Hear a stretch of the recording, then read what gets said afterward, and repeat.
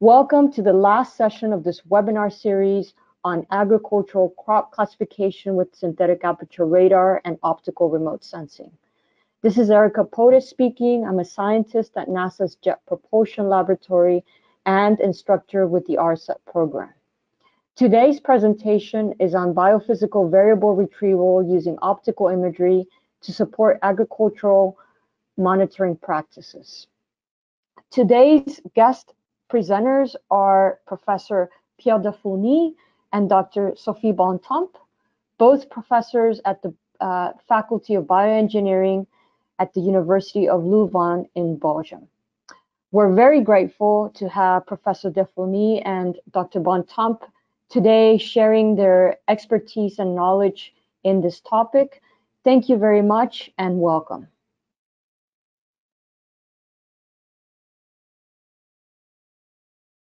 Welcome to the fifth module of the training on the agricultural crop classification with synthetic aperture radar and optical remote sensing. This module concerns the biophysical variable retrieval using optical imagery to support agriculture practices monitoring. Sophie Bontemps and myself, Pierre Defourny, both professor of the Faculty of Bioengineering, at the University of Louvain in Belgium have prepared this module based on our practical experiences in agriculture application for very different contexts. This module comes after four other modules and will focus here specifically on the optical imagery for crop monitoring. According to the training objective, you will know what is the interest of the spectral indices for agriculture, as well as what are the relevant biophysical variables. You will understand how to calibrate biophysical variables retrieval models and how to assess their estimation performances. You will then be introduced to the phenometrics and how they are useful. And finally, you will know how biophysical variables can support the monitoring of agriculture practices and how they can support also crop yield estimation. Through various applications, you will also be introduced to the open source toolbox like the ESA Sen2Agri, the Sen4CAP, and Sen4Stat toolboxes.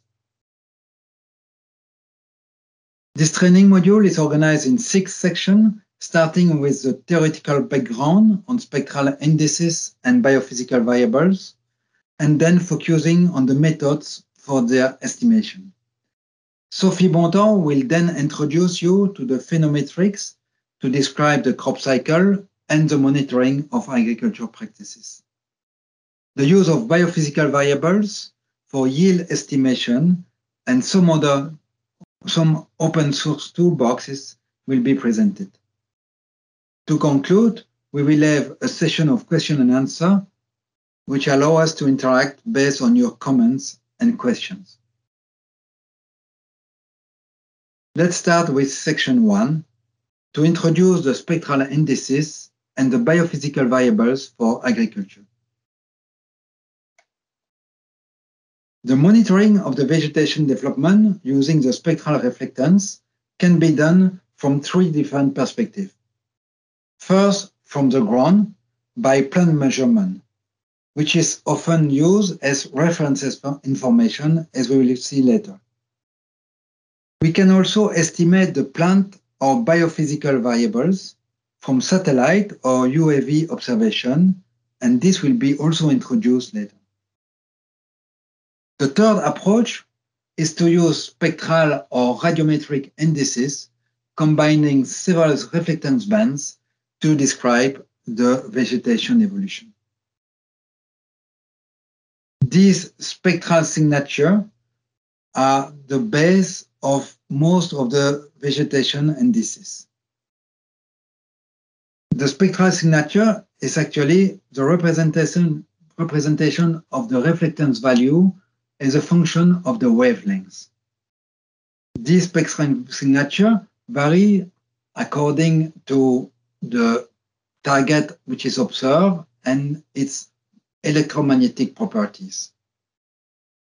For instance, in blue, the water, in purple, the clear water have a very distinct spectral signature compared to the bare soil one in red here. The green vegetation is depicted by the spectral signature in green, which is also very different. On the display of the on the image in near color near infrared color composition, you can see that the winter wheat is going on. The winter wheat is growing, while the sugar beet and the maize field are still bare soil. In the following months, the quick development of the winter wheat field make it more red along the season, while the sugar beet field and the maize remain bare soil as they were only sown in late April.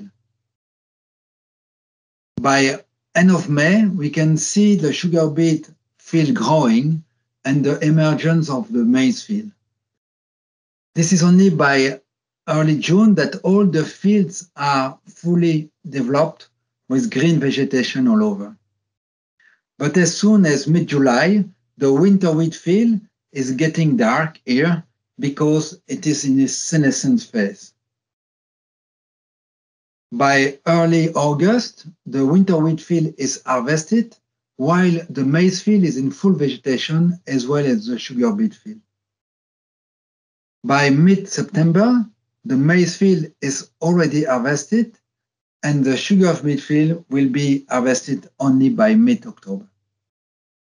The evolution of the spectral signature over the season allow to recognize the crop type, of course, but also to monitor the biophysical variables of the different development.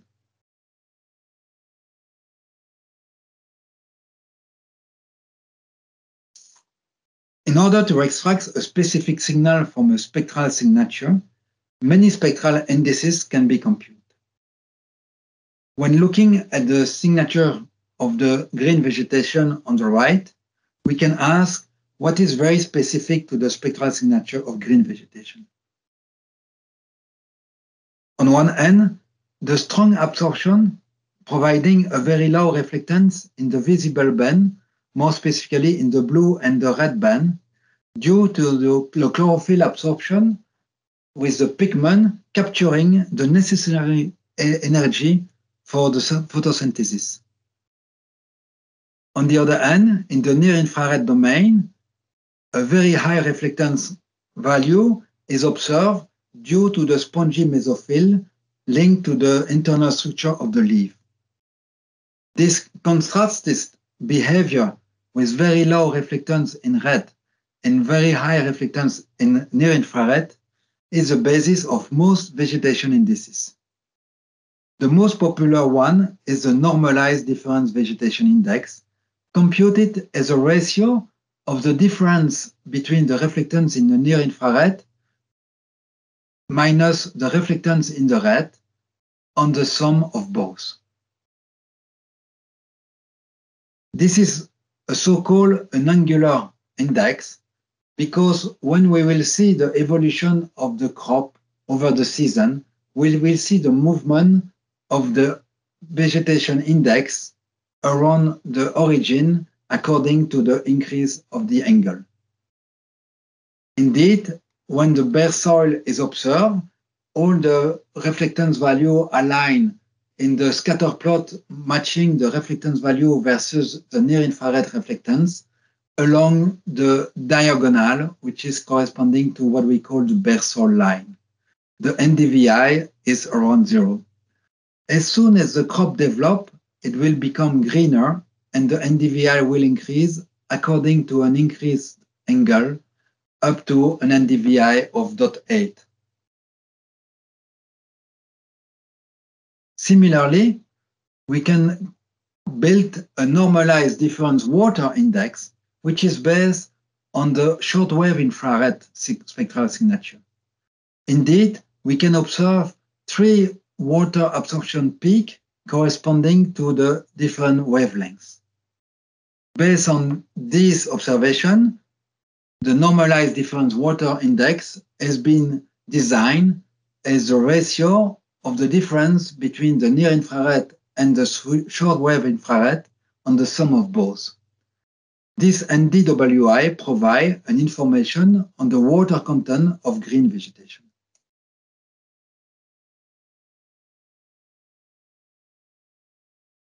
The NDVI is the most popular vegetation index used for monitoring the vegetation cycle.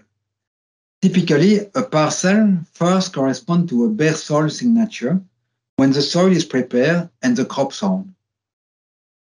Along the growing cycle, this spectral signature will evolve and turn progressively into a full green canopy spectral signature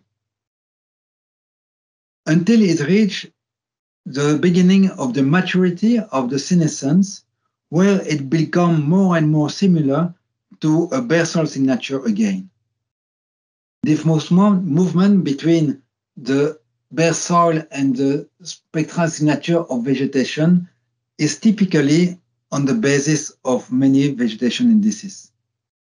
Some of them have been listed here and are based on the same principle but each of them try to improve a specific aspect, like for instance, the SAVI, which aim to reduce the influence of the soil background reflectance on the vegetation index value. On the right side of the slide, an NDVI image highlight in dark the pixel without or with very little green vegetation, while in white, the green vegetation appear the NDVI has been so popular that now handheld instruments allow the farmer to measure it on the ground as well. Furthermore, more specific vegetation indices has been developed also, for instance, on the red edge region. The red edge region, region corresponds to the fast changing signature from the red to the near infrared zone. Thanks to the recent launch of satellites like Sentinel-2 and WorldView-3, these vegetation indices can exploit the red edge region, which allow to, to capture the canopy chlorophyll content and more indirectly, the canopy nitrogen content. For instance, the index of the red edge position correspond to the curve inflection points, which will move from one position to another along the wavelengths according to the chlorophyll content. Many very specific indices have been de derived from this region, the red region, in particular because they are less affected by factors like soil background, sun incidence intensity, and the viewing geometry. You can see here a list of them. This slide showing the NDVI value and the NDWI value for a given agricultural landscape illustrate what you can do yourself if you go on the Sentinel-2 playground, which allow you to select your favorite place and look at the different spectral indices value for a given Sentinel-2 image. You can even compute your own spectral index using the custom tab which we will recommend to compare to the actual image that you can also display. This is a very nice way to get familiar with the content of the various indices that we presented here.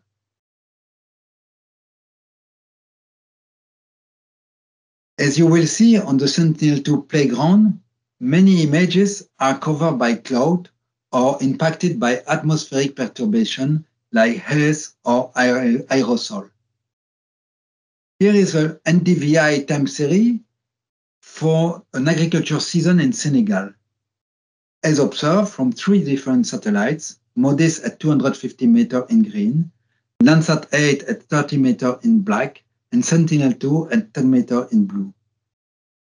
The solid line follow the most cloud-free images, while all the blue triangle, for instance, correspond to the Sentinel-2 images which are largely affected by cloud.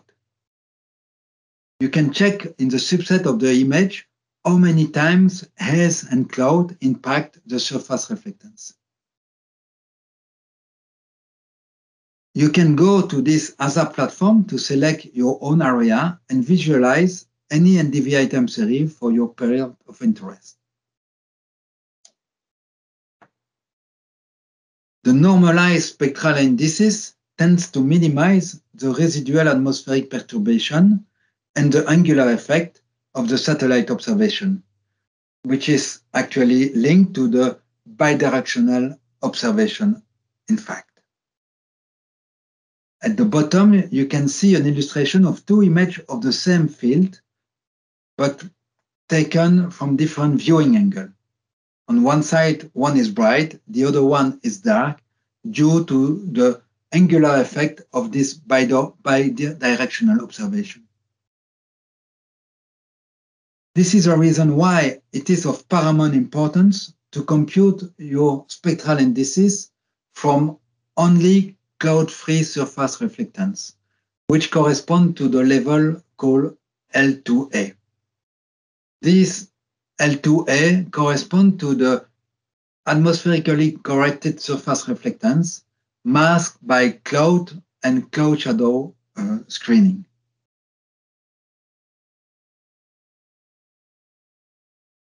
To conclude on the spectral indices, it is important to mention that the spectral band number record for a given sensor are not corresponding to the other one.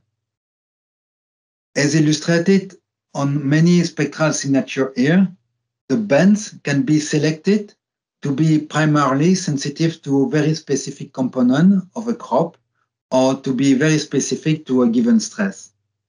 Therefore, each sensor has its own set of bands which can be combined into spectral indices. This is why you may find very useful the index database, which provide the formula of more than 300 indices for most of the existing satellite instruments.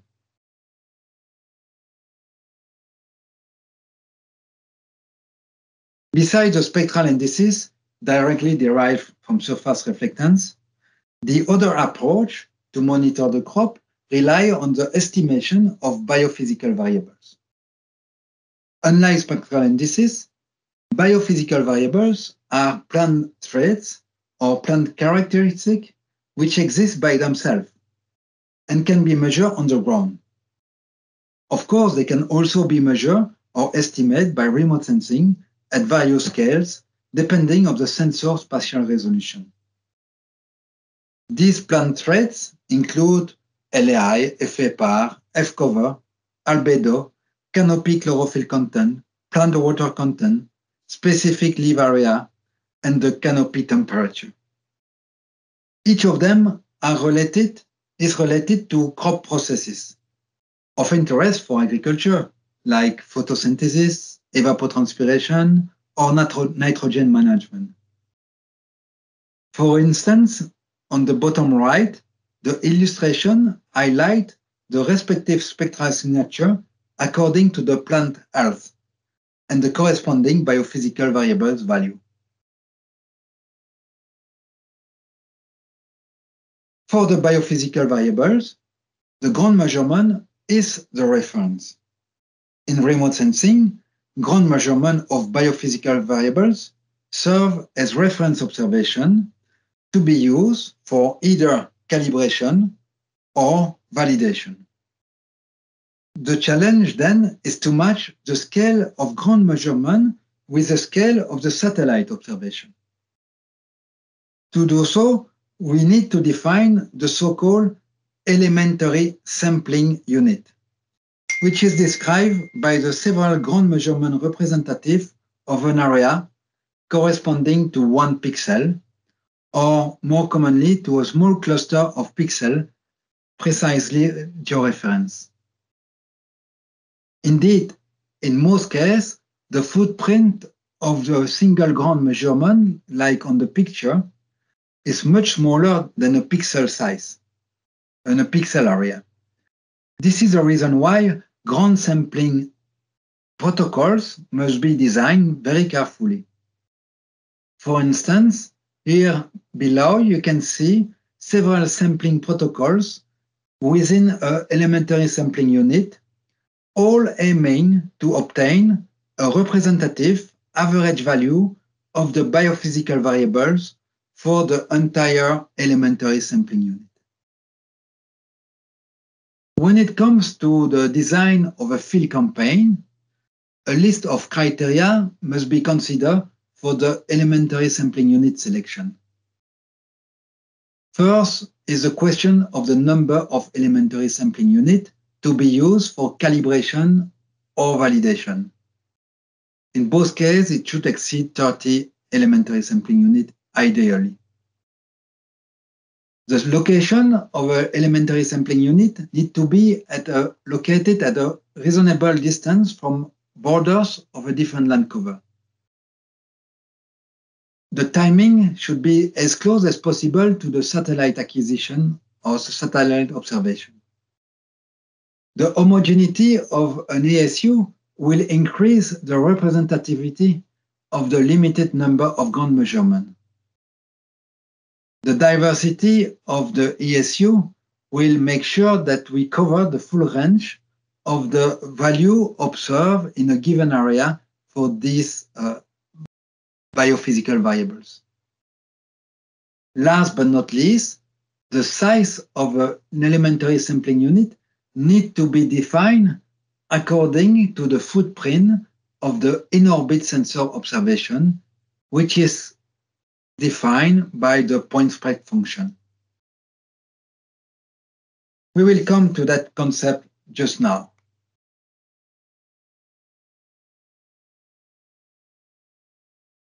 The size of an elementary sampling unit should be at least matching the actual size of the satellite measurement footprint which is not, unfortunately, the size of the pixel.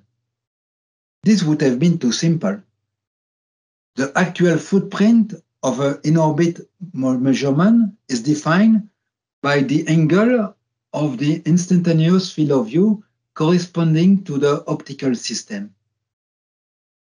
The projection on the ground of this instantaneous field of view, called ground IFOV, will have an area which may vary according to the position in the image. Furthermore, combining these two with the ground sampling interval, which correspond to the density of reflectance measurement sample along the track, we will have all the elements which will define with the optical system the point spread function. This point spread function describes actually the response of an imaging system to a point object. The illustration here provides the relative contribution in the y-axis of each area underground for a single pixel radiance measurement. We can see that most of the radiance is coming from the red area corresponding to the ground IFOV. But the contributing area to this radiance measurement for a given pixel is also coming from the surrounding area to the ground IFOV. Therefore, we need to consider an area significantly larger than the pixel size when we want to do the matching between the ground measurement and the pixel level.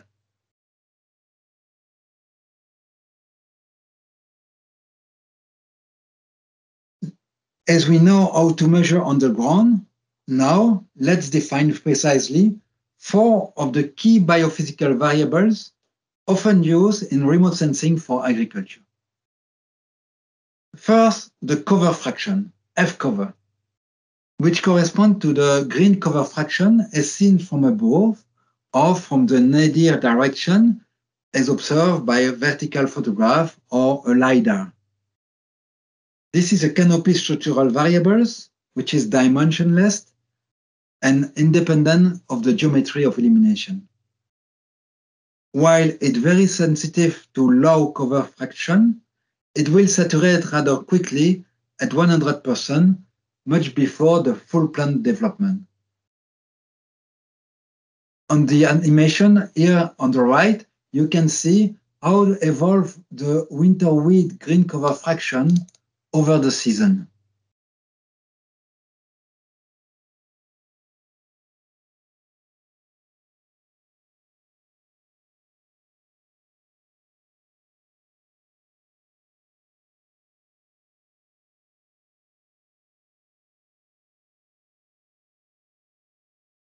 A second commonly used biophysical variable is the FA or the fraction of absorbed photosynthetically active radiation, which is defined as the fraction of incoming solar radiation in the PAR spectral region that is actually absorbed by the vegetation canopy.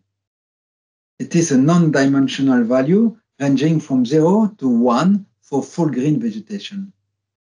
Use as a descriptor for photosynthesis and evapotranspiration processes. This is a biophysical variable which depends on the illumination condition. This is the reason why we recommend to use permanent setup to measure the FA as it varies along with the illumination condition. If you want to measure an instantaneous uh, value of the FA you can still use the linear set of sensor like a ceptometer, allowing to measure the radiation above, like on the picture, and above and, and, and underneath the vegetation canopy. As these biophysical variables is directly related to the photosynthesis process, it's allowed to estimate the accumulation of biomass over time when taking into account the light use efficiency. There is no, indeed, assumption behind the FA estimation by satellite, as it is directly related to the electromagnetic radiation, exactly like any remote sensing measurement. A third important biophysical variable is the canopy chlorophyll content defined by the total amount of chlorophyll A and B pigment per unit ground area. This variable is closely related to the plant nitrogen content, which is often used for fertilization. As illustrated by the pigment spectral signature below, you can see that at 550 nanometer, the low absorption indicate a rather large sensitivity to a great range of chlorophyll canopy content, which is not easily saturated, but less sensitive to chlorophyll changes. At the opposite, the absorption at 675 nanometer show a very high sensitivity to changes in chlorophyll content, but only for low canopy chlorophyll value. This variable can be also measured on the ground using NL single leaf meter that measure the chlorophyll using a light transmittance system at two wavelengths. Typically, the SPAD or Dualex instrument provide that, but this at the leaf level need to be combined with an estimation of the biomass at the canopy level to be able to estimate the canopy chlorophyll content. This is only this canopy chlorophyll content, which can be relayed to the satellite observation, which is here estimated from Sentinel-2 images in a rather very accurate way.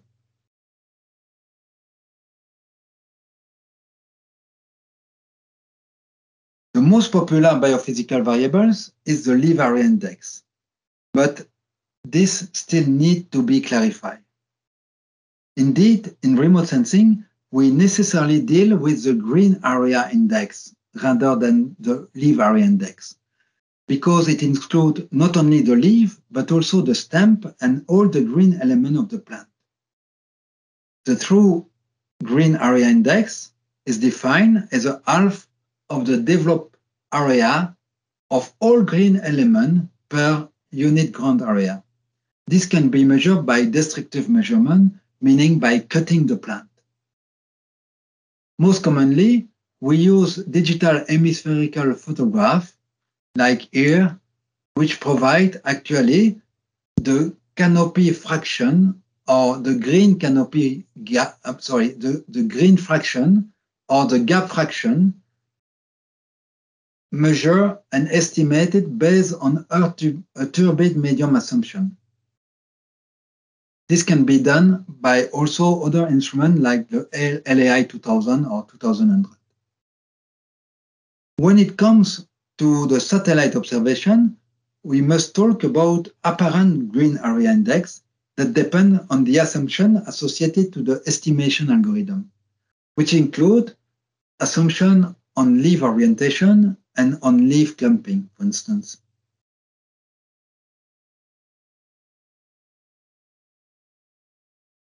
Since we have learned about the concept and the theoretical background for the biophysical variable and the spectral indices, we can now move to the calibration of biophysical variables retrievals models and their performance assessment. There are two main approaches, the empirical models and the physically based models using radiative transfer modeling. The empirical models are calibrated on a specific set of reference data or ground observation. They are based on statistical regression or machine learning relationship between the spectral index value and the corresponding ground reference values. Once the model is calibrated, the validation aims to estimate the prediction error of the model using a fully independent dataset. The graph on the right shows the matching between the GAI, ground measurement, and their corresponding values estimated from the satellite observation using a stepwise multivariate regression.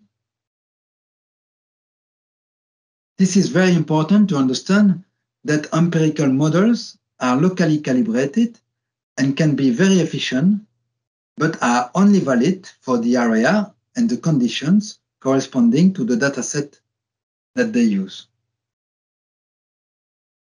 And the opposite, the physically based models are much more complex, but transferable to, area, to other areas and other conditions as they are designed to be very generic. Indeed, physically based models are much more complex as they are built on radiative transfer modeling. These radiative transfer models are built on a detailed description of the structural and optical properties at the leaf level or at the entire vegetation canopy level. These models are able to simulate the absorption, the transmittance, and the reflectance of the canopy for any spectral band, for all sun incident angle, and all viewing geometries. For the leaf level, the PROSPECT radiative transfer model is the most popular one which is used in the BVNet toolbox that we will introduce here. For each possible value of a biophysical variables and each observation angle, the spectral reflectance is simulated. All these simulations and the corresponding biophysical variable values are then used to train and to calibrate an artificial neuronal network, ANN model, to invert the process. This calibration neuronal network, this calibrated neural network can then be used to retrieve from the satellite observation the biophysical variables value corresponding to this reflectance and this observation geometry.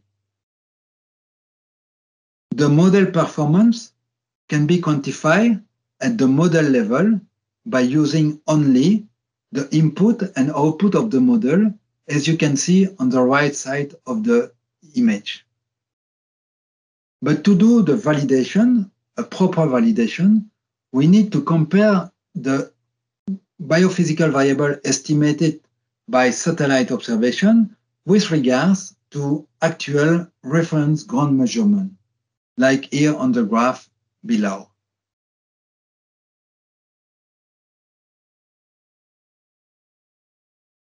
The performance can be further understood by using a set of metrics like the mean absolute error, the root mean square error, the bias, the error standard deviation, or the relative root mean square error.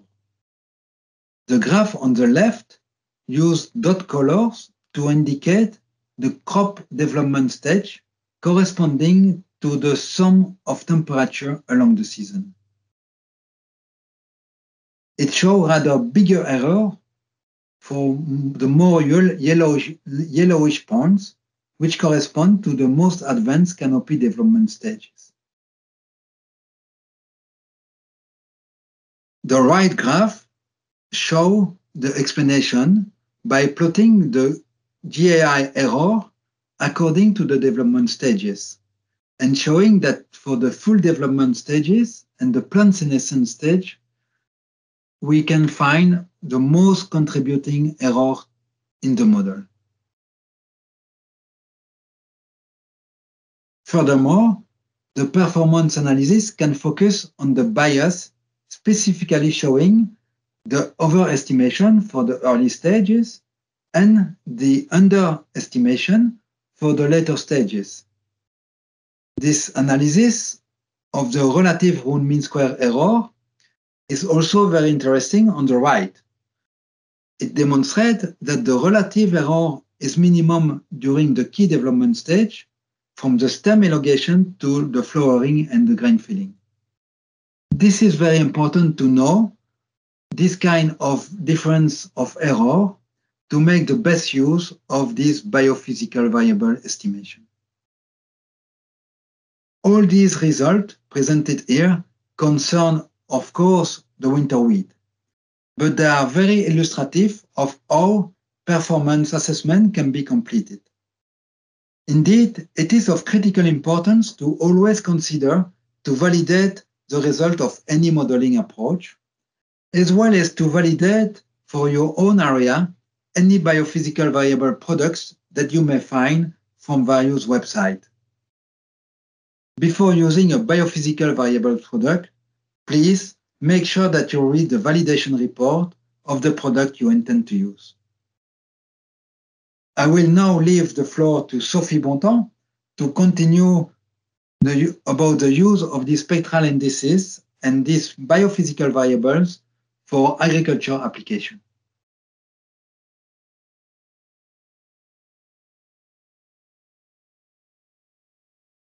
This second part will include uh, the section 3 to 6 that you can see here.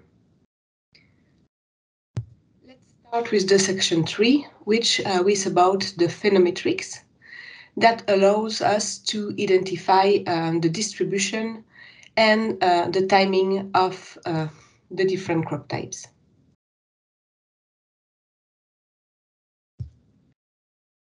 We can start with uh, some definitions to be sure that we are all uh, talking about the same thing. First, uh, what is phenology? So the plant phenology deals with the definition of the development stages of the plants, but also um, with the recording of the dates of these stages. So phenology, this is the definition of the development stages and the dates of these uh, stages. If the plant that we observe is a crop, then we are talking about agricultural phenology or agrophenology. And in agrophenology, there are some conventional systems that have been defined, like the BBCH. This is the one that I have presented in the figures here. But uh, these systems have defined um, um, a conventional uh, um, a conventional list of stages and uh, for each plant, they have defined expected dates for each for all these uh, stages. And of course, this crop calendar will also depend on when, where, or, or so, sorry, will also depend on where these plants are, are observed because you will not observe the same calendar if you are in a temperate environment or if you are in a uh, tropical environment. So crop phenology, the crop is developing into several stages and for each stages you can expect some uh, period within the year. Monitoring the phenology is very interesting in agriculture because it will allow you characterizing the different crop types. Each crop type will have its own phenology and uh, it will also allow you monitoring the crop growing cycle. So to do this um, phenology monitoring, we will work with um, a time series analysis. It means it means that we will not analyze a single image, a single spectral index or a single biophysical variable, but we will analyze all the, the, the suite of images within the year or within the uh, growing cycle. So to do this uh, time series analysis, the first option is to consider really all the dates. And so here, this is an example where um, you are com comparing uh, parcels of winter wheat and of winter barley. So these are these two crops are quite similar. And so you try uh, to find a good way to make a distinction between them. And so for each parcel, you draw your NDVI. Um, and when you compare these uh, two uh, these two cycles, you can see that in fact there is a, a, a small difference between the cycles and these differences uh, are located um, especially in the uh, period where the vegetation is at its maximum, so at, in the plateau. Uh, this period is longer for the winter wheat and it occurs a bit earlier. And so by uh, considering these two aspects, it is, it is possible to make a difference between the two crops and so to do um, a mapping of uh, these two crops uh, and more in general, a mapping of the different crop types based on uh, the growing cycles of, um, of the crops and on the biophysical variables. Another way of um, analyzing the uh, biophysical variables time series is to uh, extract temporal metrics which are specific to the crop and which relate to the phenology. So when we are talking about crops, uh, there are some um, stages that always occur. So to have a crop, you need first to have a bare soil, which corresponds to the soil preparation, the sowing, etc. And then the crop is emerging, is growing rapidly, is reaching a kind of plateau, the vegetation is there, it is maturing, and then there is the senescence of the crop and the harvest and again a bare soil. For all the crops, these successive stages happen. What will differ is the dates of the crop and also maybe the amplitude of the vegetation, the difference between uh, the uh, bare soil and the maximum vegetation. And so you can extract some phenometrics, some uh, yeah, metrics that um, will allow you make making the difference between the different crops. So for instance, here you get the maximum red so which correspond to the period where the soil is bare. So to, to, to have the period where the soil is bare, you look for uh, the maximum red values. To know the period of the uh, vegetation emergence, uh, the, the, where the vegetation is growing, you, you could look at the uh, positive slope of uh, your NDVI or your biophysical variable. For the senescence, it would be the maximum negative slope where the vegetation is it is uh, is um, in place, you could look at the maximum NDVI uh, and after the harvest, the minimum NDVI. So this is possible to make a relationship between the phenological stages and the re, uh, reflectance signal. And this is what we call um, the uh, phenometrics or the crop-specific temporal metrics. Here is an example. Uh, you are interested in the start of the season so the start of the season, you can choose how you define it. Either you define it by a local criteria, you define your start of the season by uh, This is when NDVI or EVI or LAI, whatever, is reaching a certain threshold. So this is an absolute threshold. You can also define it as a relative threshold. So the start of the season is reached when uh, the NDVI has um, reached the uh, 10, 20% of the amplitude. So if you are working like this, you need to know the amplitude. So it means that you need to wait for at least the mid middle of the season. Or you can uh, you can forget the threshold and just make a curve analysis and look at the derivative to find the inflection points. So there are different ways of defining the phenometrics. The idea of the phenometrics is just to link the phenological stages with um, a spectrotemporal signal in your biophysical variables. Some applications now um, uh, with these phenometrics. The first one is um, a rice calen crop calendar, uh, dynamic rice calendar. So to do so, uh, we have been working in different regions of the world and we have been working with uh, vegetation indices, NDVI or EVI. So you see here in green the vegetation index of the rice. So bare soil, the crop is emerging, rapidly growing. Then this is the heading, the senescence of the rice, and then the harvest, and again a bare soil. And because we are talking about rice, we are talking also about flooding. And so you can see here in dark blue the water signal. So based on the vegetation signal, you can define your phenometrics corresponding to uh, the bare soil and the flooding, then the emergence of the crop corresponding to the start of the season, the heading corresponding to the maximum of the vegetation index, and the maturity corresponding here uh, when uh, the senescence um, has happened.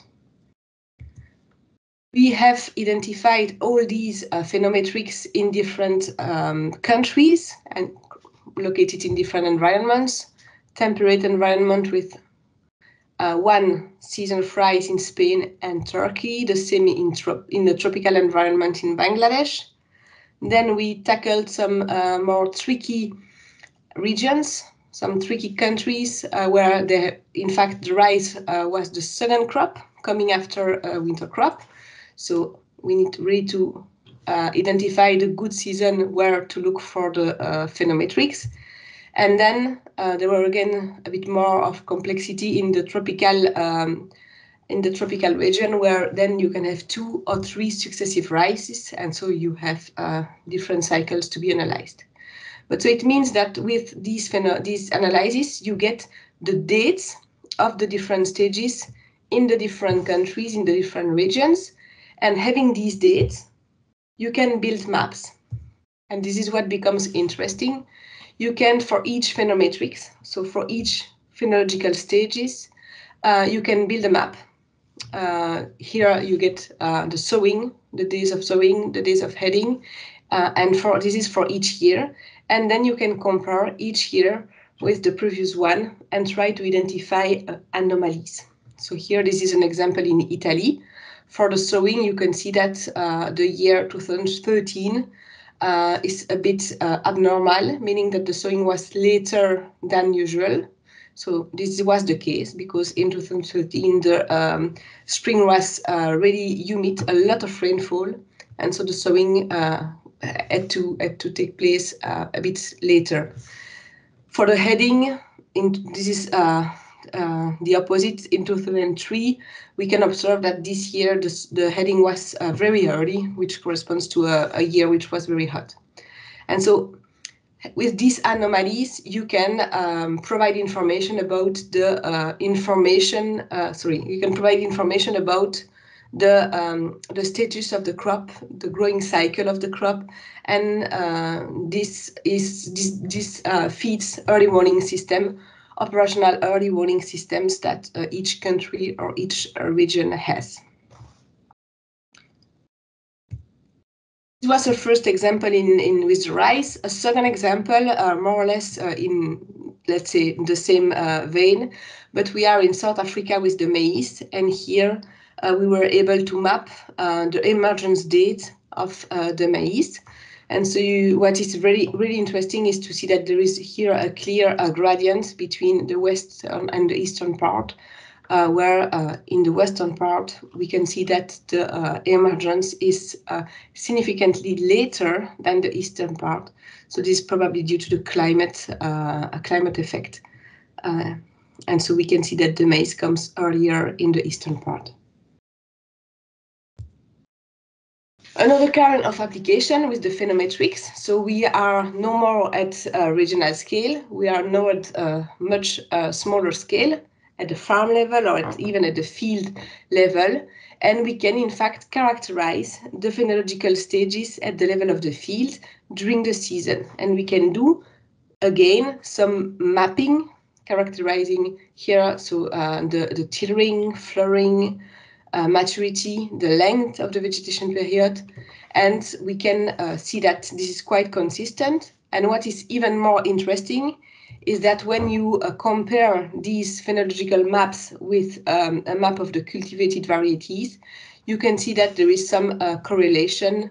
So here, for instance, uh, the variety which is named uh, Nemesi, we can observe that um, they are quite uh, consistent and different from the others in terms of phenological stages.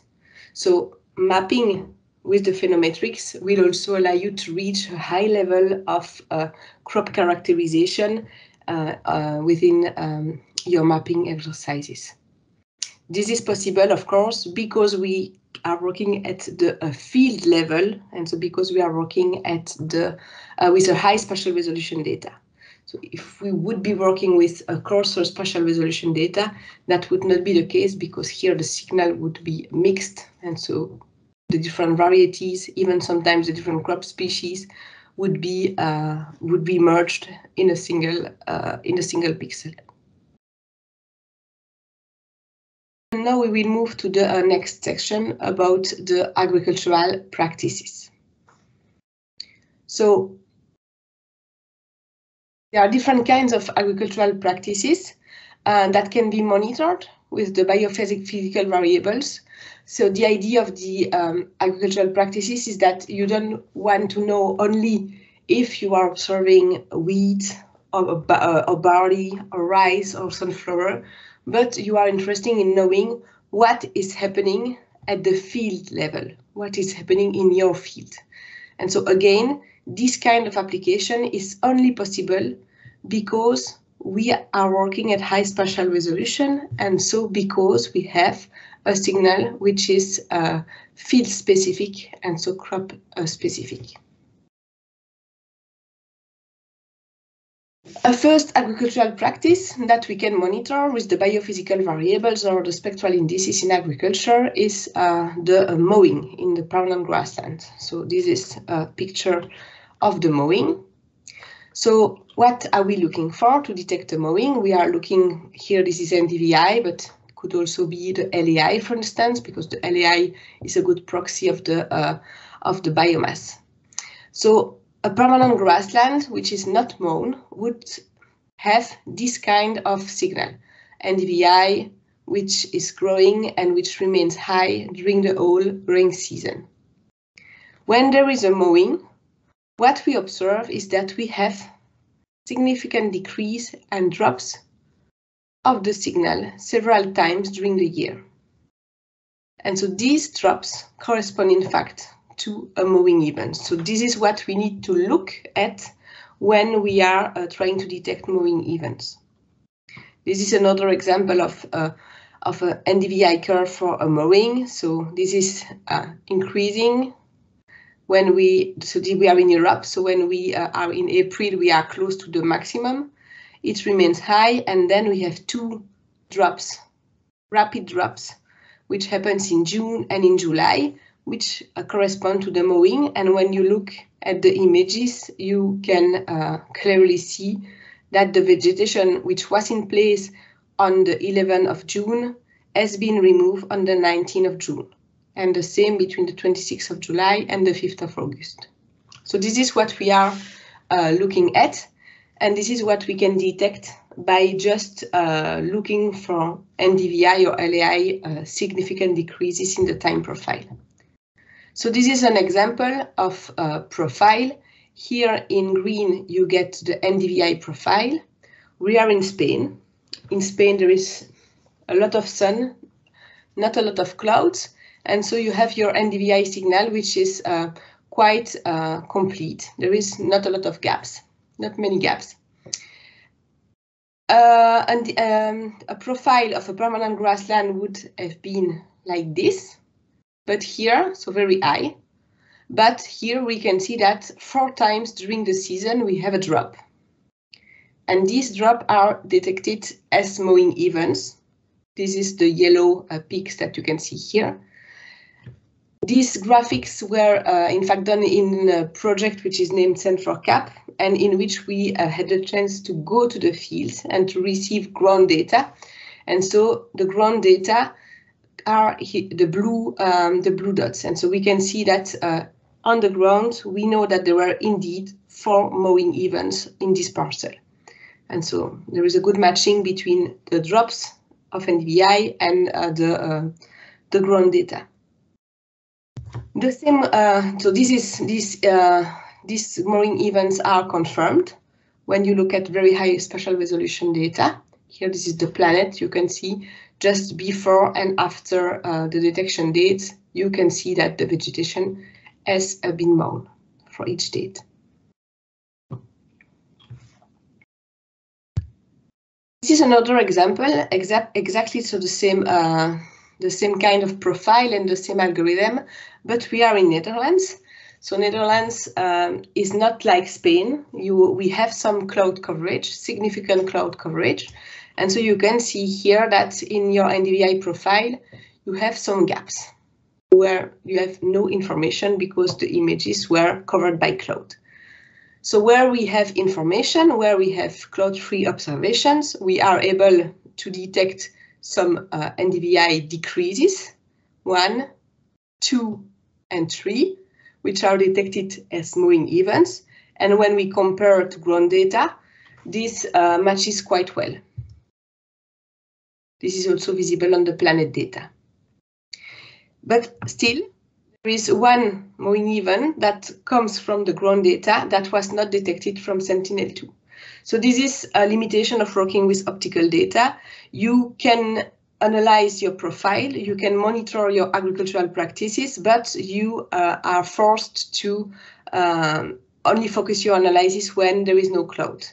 So something maybe just for your information, uh, here we focused on Sentinel-2 for the biophysical variables. Uh, um, uh, we focused on optical data, sorry, for the biophysical variables and uh, spectral indices, but we can have the same kind of uh, variables, matrix, also coming from SAR data. So Sentinel-1, for instance, in this case, SAR data which are not sensitive to the cloud coverage and which, uh, when we have uh, meaningful SAR, um, SAR matrix, in this case is the coherence, we can detect also the agricultural practices. So here, this is the coherence. I don't know if you uh, heard about it during uh, the previous uh, lessons, uh, but the idea with the coherence is that um, the coherence measures or your field remains the same between two successive observations. And so if there is a mowing, the coherence should decrease. And so this is uh, here what we uh, observed between these and these. There is a decrease of the coherence. And then when the vegetation is regrowing, an increase. So this is vegetation, bare soil. And then there is again vegetation, vegetation. And the same here for all the uh, detections.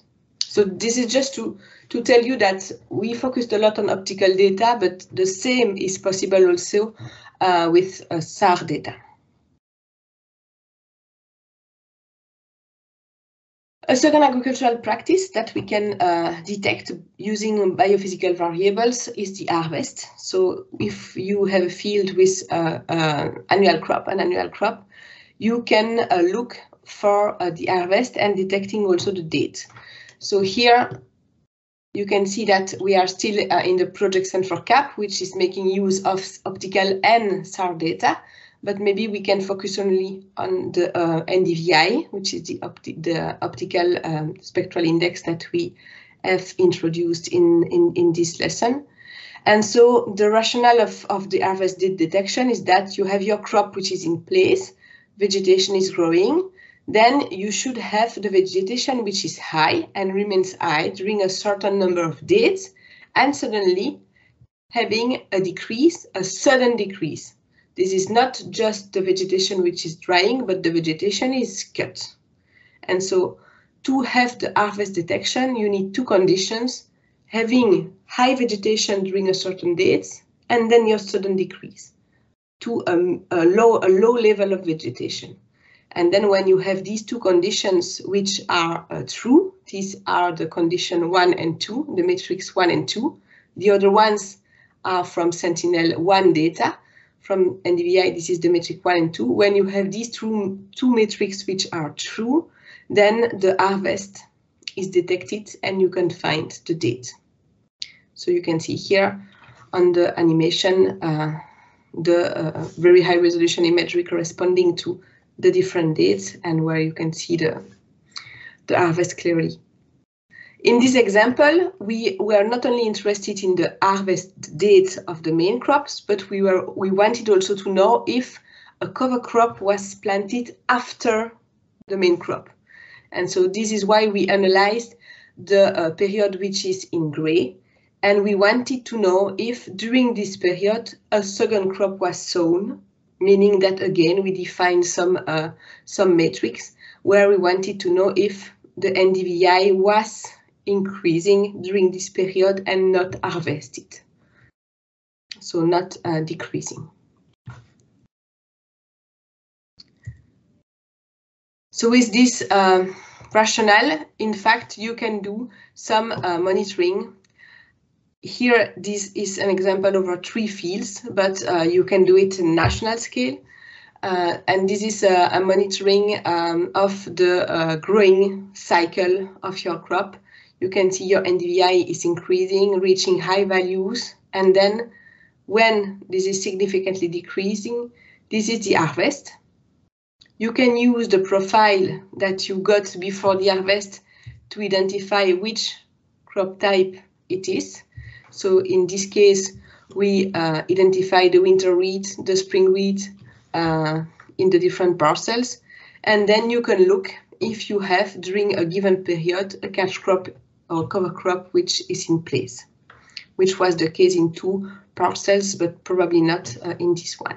So just monitoring your biophysical variables, the tendencies in the time series, you can understand, you can monitor a lot of things that is happening uh, on the field.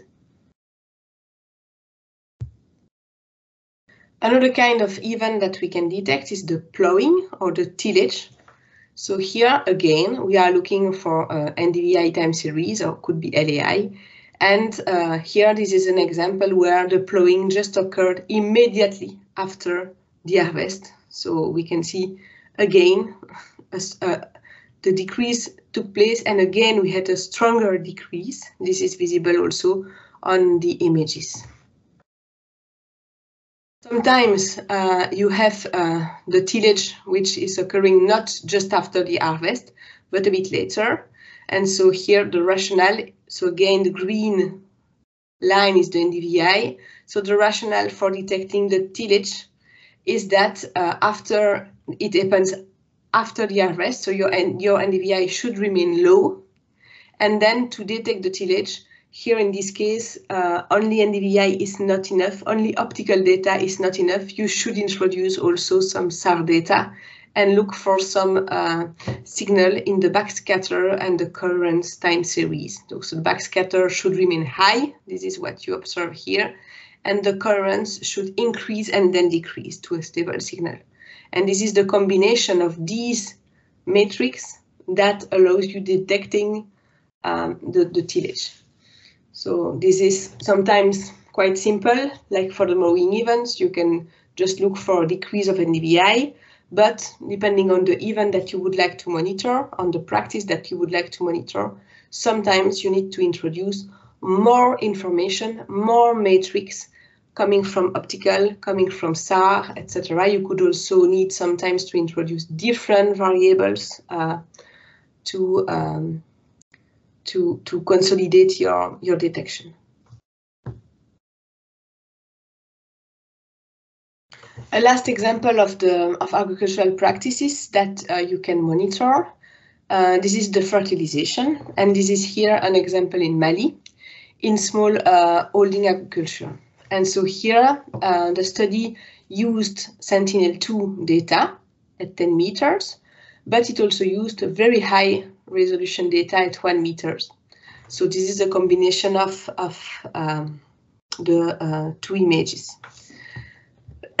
and here, this is the NDVI which was analyzed, and we compared the NDVI uh, behavior on parcels which were not fertilized, the, this is the A and B, and also on parcels that were fertilized, and we could see an impact uh, on, on, on, on the clear impact, visible impact on the NDVI when there is a fertilization uh, which is applied. And so you can uh, make a difference between the fields that receive some, in, some inputs and the fields that uh, do not uh, receive anything.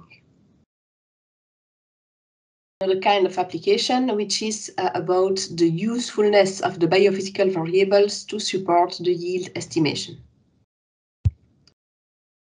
So if you uh, are interested in, in crop yield estimation, you probably know that for the moment, um, there is no methodology which is fully operational with high resolution data.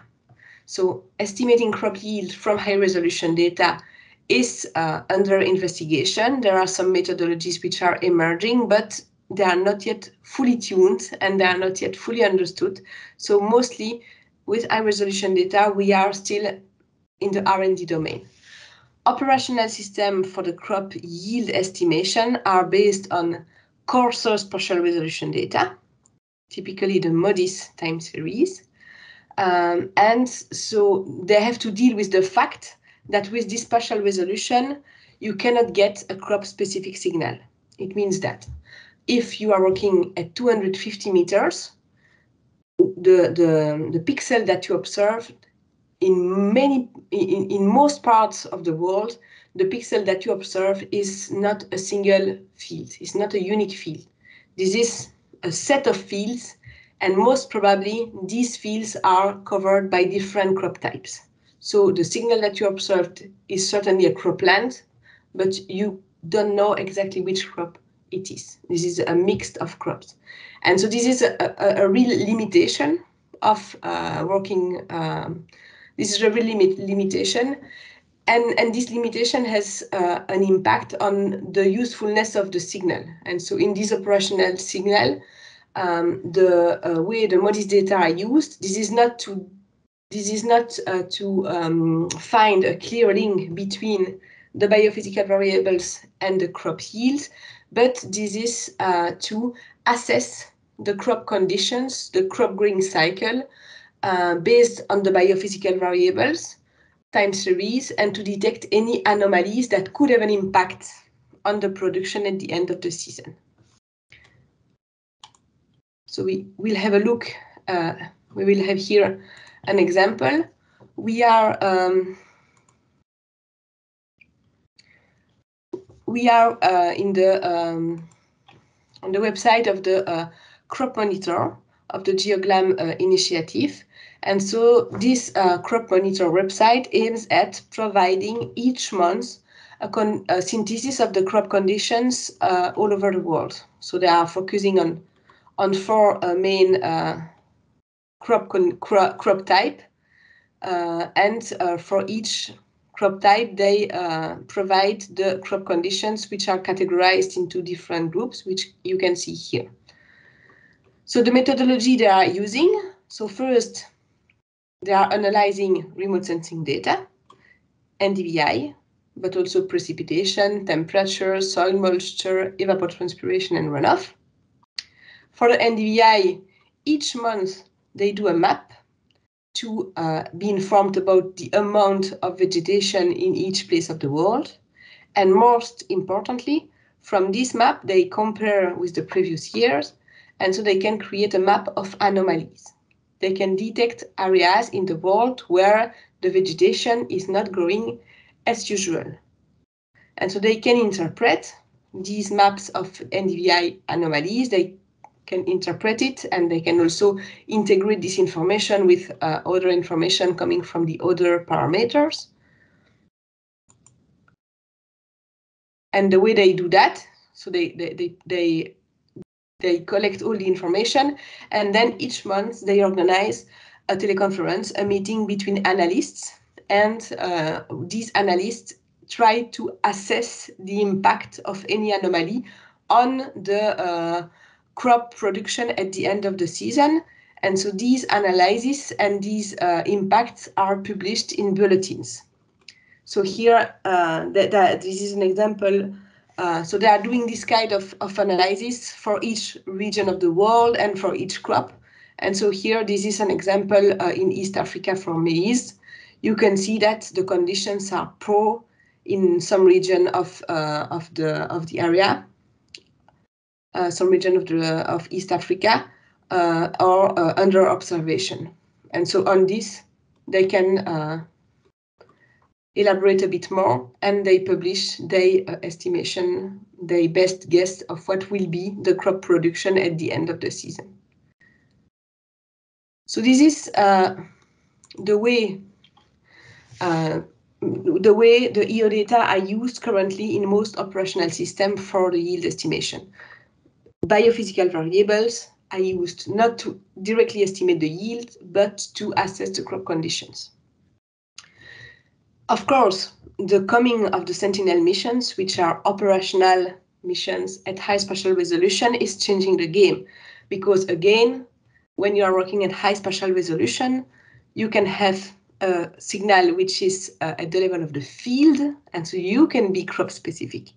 And now you can expect to have some link between the signal that you observe and the yield. But this is something which is rather new. It opens a lot of new opportunities. There are a lot of research in this field for the moment, also new challenges. And so this is why I, I said at the beginning that uh, there are some methodologies that are emerging, but we are not yet at the stage to be uh, really operational with high resolution data. So with high resolution data, the objective is, is to be able really to use the signal as a proxy of the crop yield. And to do so, there are three main kinds of methodologies, which are listed here. So the first one is the simplest one.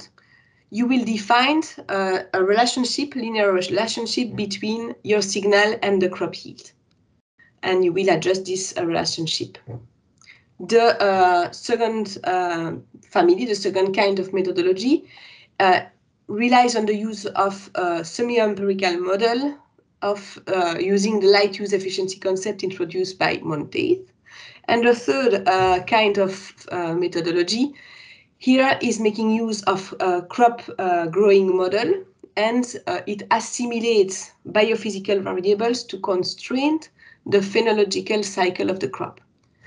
So these two uh, family, the, the, the, second and the third family I have mentioned are a bit more complex. They rely on model.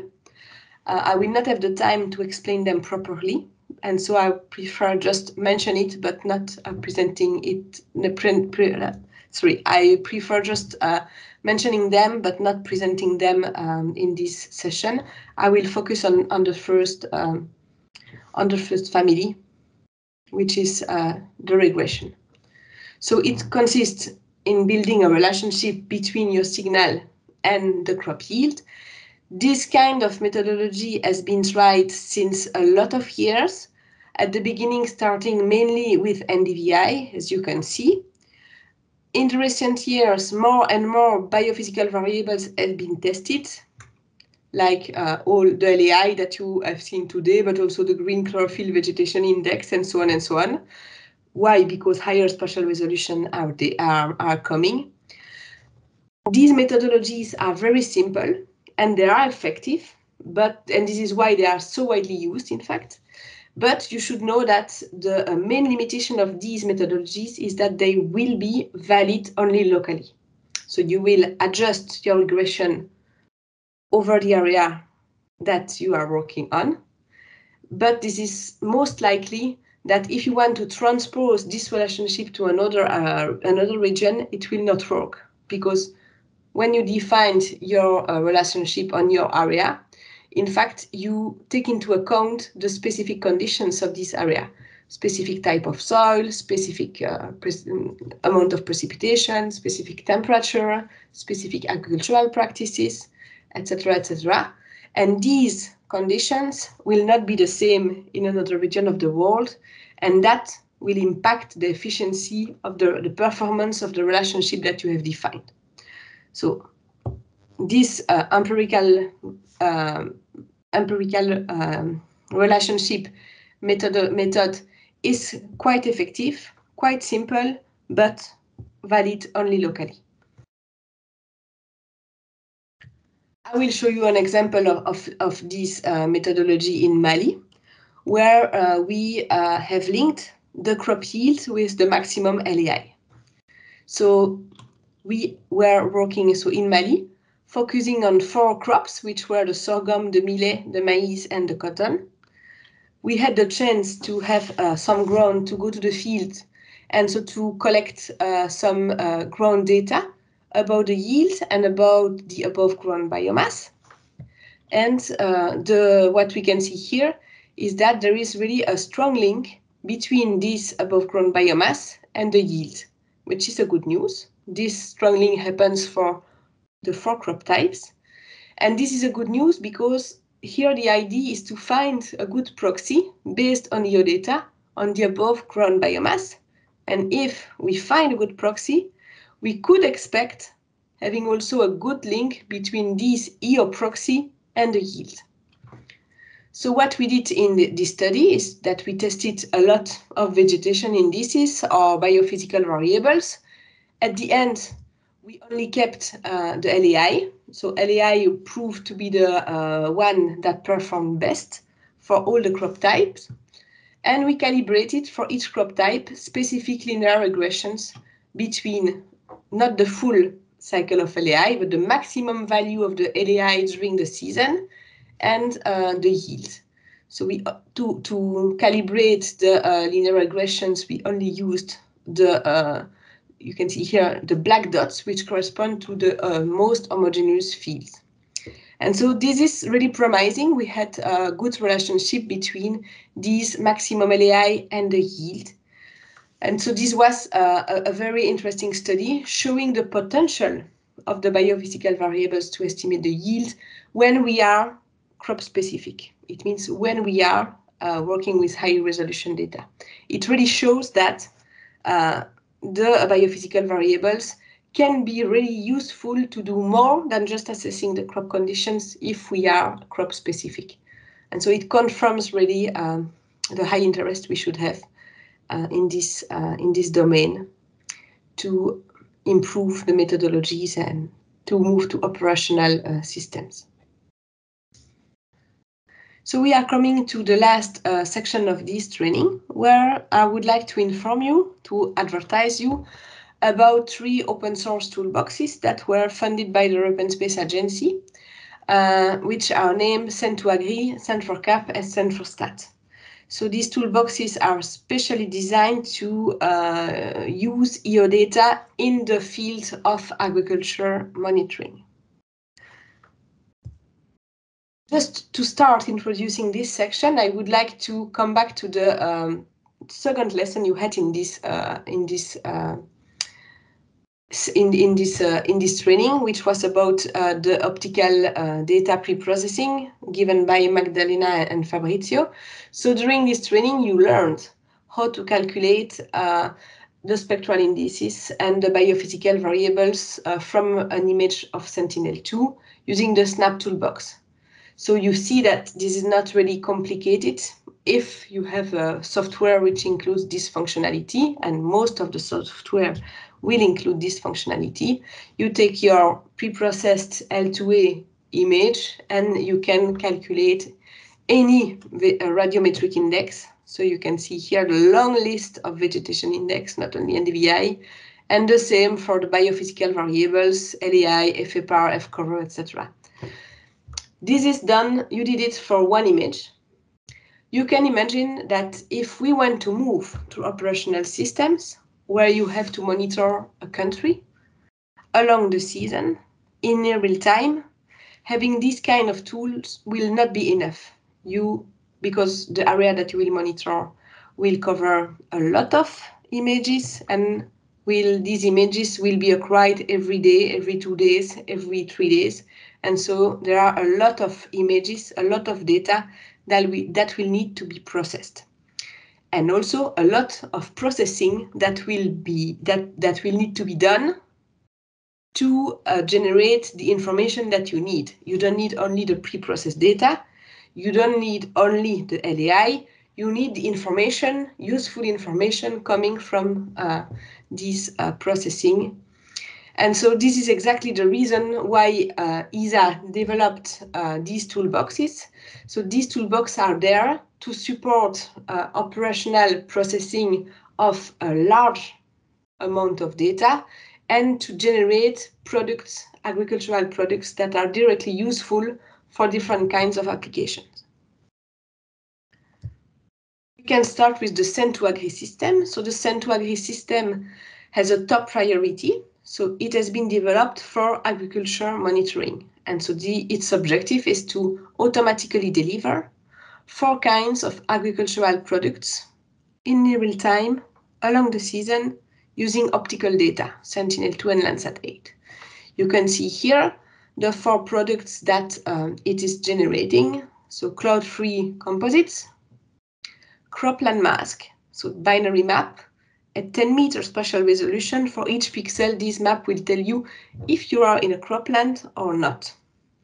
So these maps are provided several times during the year. So it evolves if you have different crops within your season, within your year you will uh, have an evolution of this of this mask. You will also see the pixel coming from non-cropland to cropland when the crops are emerging. So this is quite uh, a quite dynamic product. Then you have a crop type map, uh, which is produced twice dur during the season at the mid-season and at the end of the season. And here, for each 10 meter pixel, you will get informed if the crop type, what what the crop type is. And the last product it was is called the vegetation status. And so this product correspond to the vari four variables uh, that were introduced to you today uh, that describe the crop growing cycle. So basically NDVI, FAPAR, LAI, and FCover that you know perfectly well and that I don't need to uh, remind you here. So the Sen2Agri toolbox, what is it doing exactly? So this uh, is doing all the steps that are needed to generate these products at the end. And it is doing all the steps automatically.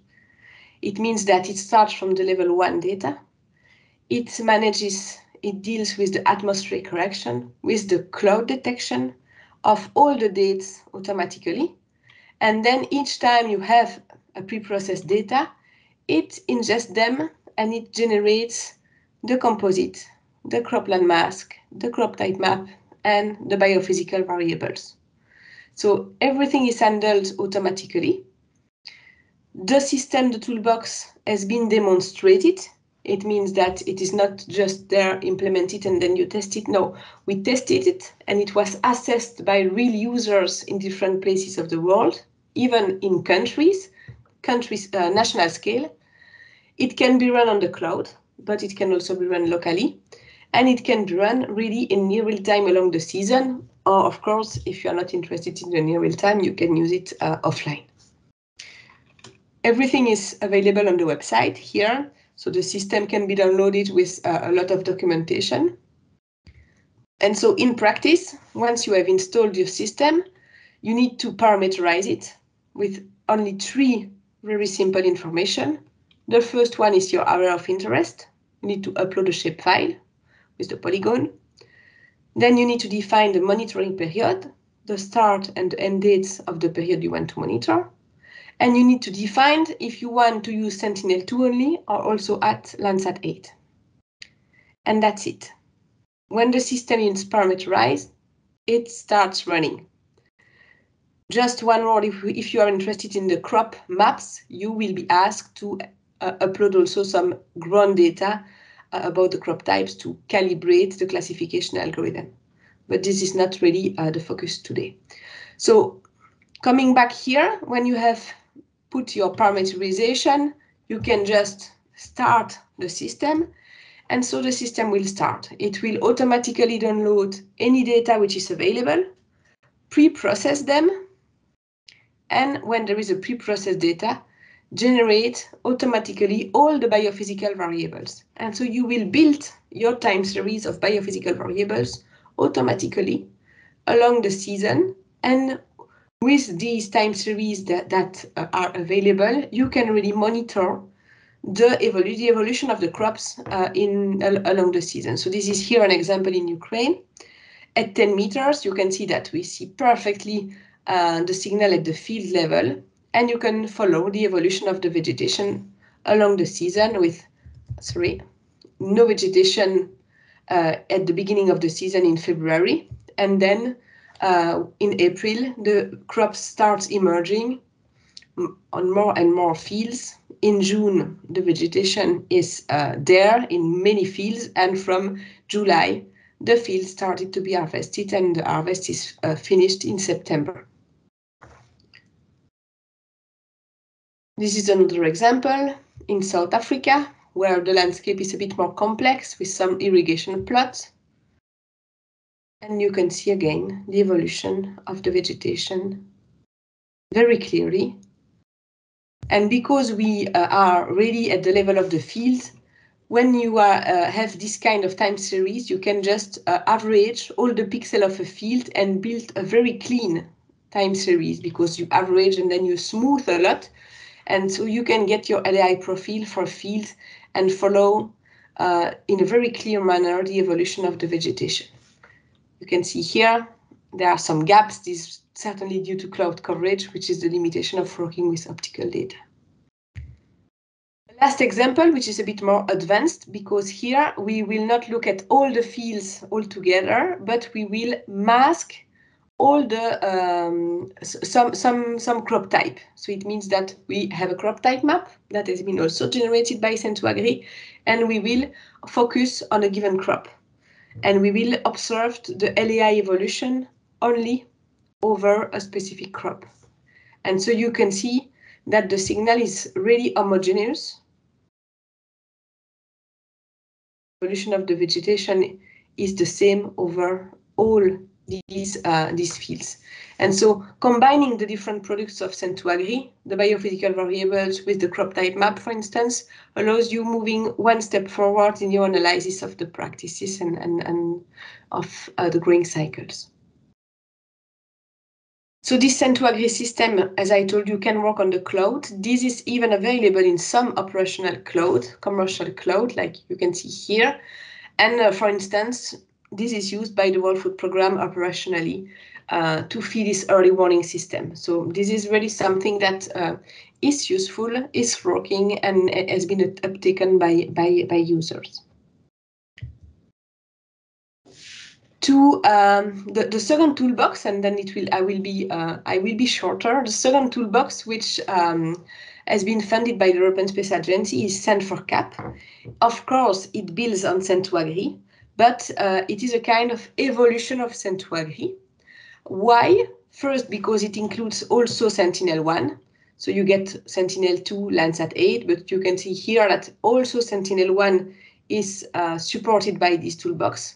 The pre-processing, but also the um, integration of the Sentinel-1 signal in all the products with Sentinel-2. So this is really uh, something new with respect to, Sentin to Sen2Agri. And the specificity of Sen4CAP is that uh, um, it uh, interprets the Sentinel-1 and Sentinel-2 uh, signal, not only to do crop type mapping, so this is included, but not only, not only to generate the biophysical variables, it is also included. You can also generate your LAI, FAPAR, and cover in this toolbox, but it has added the agricultural practices monitor, uh, monitoring. So the grassland mowing, uh, the um, harvest, the cover crop, the tillage that I have mentioned before. So the monitoring of these practices, the detection of these practices at the field level are included in this uh, toolbox. And finally, the last uh, toolbox, and this tool toolbox is still under development, while the other two ones are available uh, on the web. So the, the third one is the Sen4Stat, also building on Sen2Agri, on Sen4Cap. Uh, so this is uh, Sentinel-1, Sentinel-2 also. The pre-processing is included. You continue having uh, some crop mapping. You continue having uh, the spectral indices and the biophysical variables. Uh, but what is new is that you have also the crop yield estimation. I told you that we are really in the field of having methods that are more and more mature to make the link between the uh, variables and the yield. So there is a first attempt here. Uh, and there is also a new module um, focusing on the quality control of the ground data, which is very important. And so with all this combination uh, of, of modules, the objective is here to have some products that can support the uh, agricultural statistics uh, calculation by the national statistical offices. This uh, and i think that that's it. Um, yeah.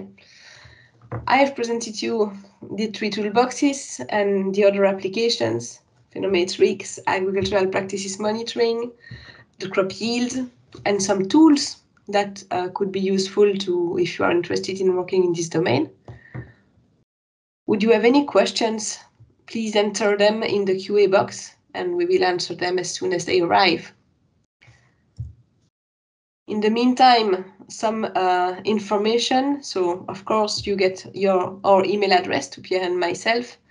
And I have also uh, mentioned the websites of the uh, Sen2Agri, Sen4Cap, and Sen4Stat toolboxes. So these toolboxes are, uh, the Sen2Agri and the Sen4Cap are available um, on the website. They are validated, they are demonstrated, they are used by users. There is a forum, there are webinars and so on. So this is quite active. You can have a look. Feel free to make a try. The Sen4Stat toolbox is coming. So this is an ongoing project. Um, that will be for probably uh, 2022. Thank you very much for your attention and we are waiting for your questions. So this concludes this uh, webinar series. And uh, just as a reminder about the material that we've covered, there have been many different aspects of um, the use of remote sensing applied to agriculture that we've talked about, starting with a review of synthetic aperture radar and the signal interaction under different agricultural conditions. Um, and this presentation was by Dr. Heather McNairn of Agriculture and Agri-Food Canada. This was followed by a review of optical satellite imagery and how it can be used for agricultural applications, followed by a demonstration on how to process optical imagery in SNAP. And this was a presentation by Fabrizio Ramoino and Magdalena Fitrzyk, both from the European Space Agency. The third session covered uh, the, the first part of an operational guide for a roadmap for crop mapping and that third session was um, done by Dr. Dingle Robertson from Agriculture and Agri-Food Canada. And it covered primarily the radar part of that operational roadmap. The fourth session, which was the second part of the operational roadmap for crop mapping, was by our colleagues from the European Space Agency by Teresa Roth and she gave an excellent overview of different classifiers and a Python demonstration on how to uh, classify crops using optical data. And that session was uh, complemented uh, with a uh, presentation by Dr. Dingle Robertson on how to generate a final classification product. And then today's session was uh, an excellent summary on the uh, different biophysical variables and how do you extract them so by uh, Professor uh, Defourny and uh, Dr. Bontemps. So this is a, a great uh, material that you can now take and adapt to your needs and to your areas of interest. And you can build on this material Uh, this is probably the first session. We're considering a, a second session on agriculture sometime next year. So keep tuned uh, on the upcoming ARSET trainings. But if you have any questions, please feel free to reach out to any of the instructors during this webinar series. If you have any questions, please post them in the question window and we will answer your questions in the order that they were received. We've already been collecting the questions that we've been receiving and we have been putting them in a Google Doc, which we will share with you shortly. And we will post this Google Doc on the ARSET training uh, page shortly after the conclusion of this session. I would like to thank all participants and I would especially like to thank Professor Defourny and Dr. Bontemps for their excellent presentation. And now we are ready to start the question and answer session.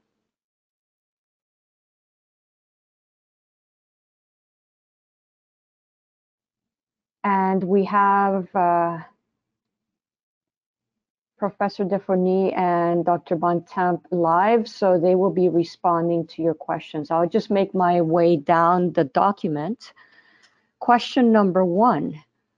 For the radiometric indices calculation, when you say the reflection in a band, for example, is it actually the average reflectance in that region?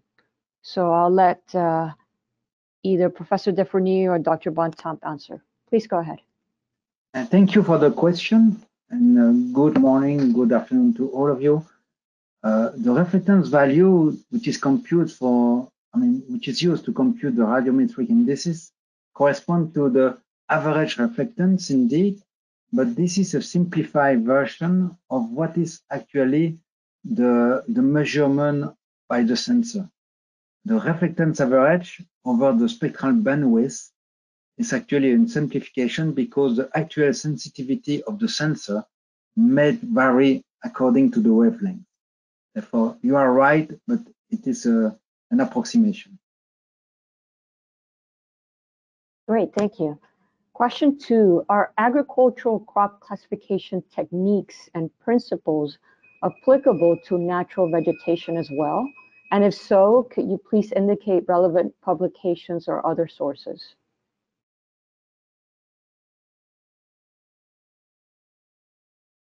Okay, uh, I can I can answer this one. So good morning, good afternoon, everybody. So all the all the algorithms, all the concepts that were presented uh, during this uh, webinar, but also during the previous one, are valid for any land cover classification in in general. Um, but uh, what is specific to the features you want to map is the the the, the, the features that will that will uh, select to be classified, maybe the period that you will classify to focus on the vegetation cycle, etc. So this is more the uh, input data and the uh, parameters of the algorithm that will be specific to your applications, but the concepts are, are the same, yes. Great, question number three. What makes a spectral index successful in capturing specific vegetation or moisture? If we want to design a custom spectral index, what would be needed to for a successful creation of a spectral index?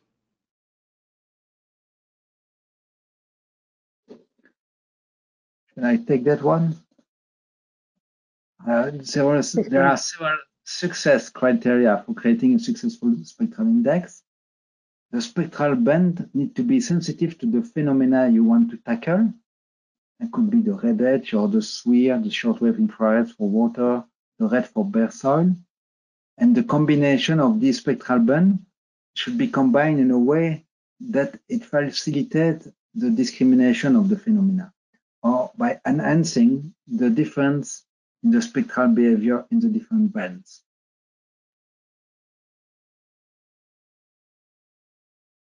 Okay, question four.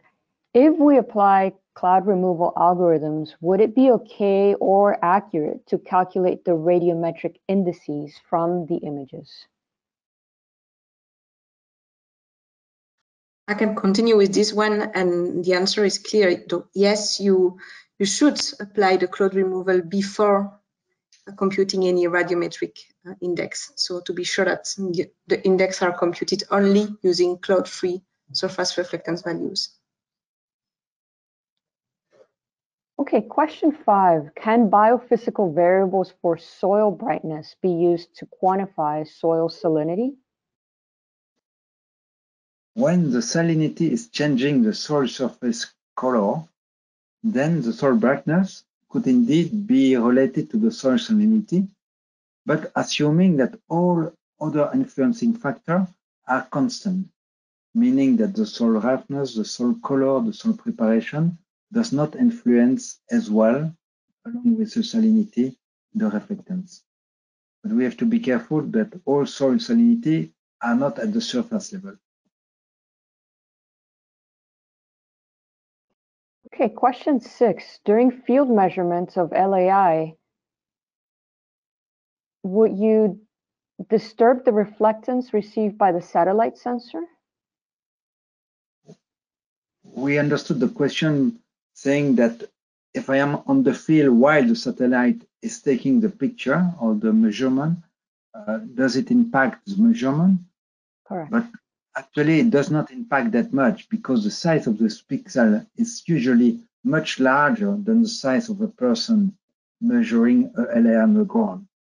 But still, indeed, you are right that it could be a concern if you consider image with submeter resolution. Okay, great point. Question seven, what biophysical variable is best for monitoring time variations of the non-photosynthetic photosynthetically active part of the vegetation, such as branches and tree trunks. Yeah, this biophysical reference is referred to as a fractional cover of non-photosynthetic vegetation. There are landscapes where it has been much studied, like in the US and in Australia.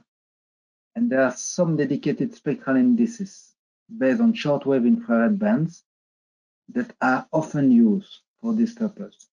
There is a list there. The, the soil tillage index, for instance, is very specific to lignin content. That kind of idea can, can help to address a non-photosynthetic vegetation. Okay, question eight.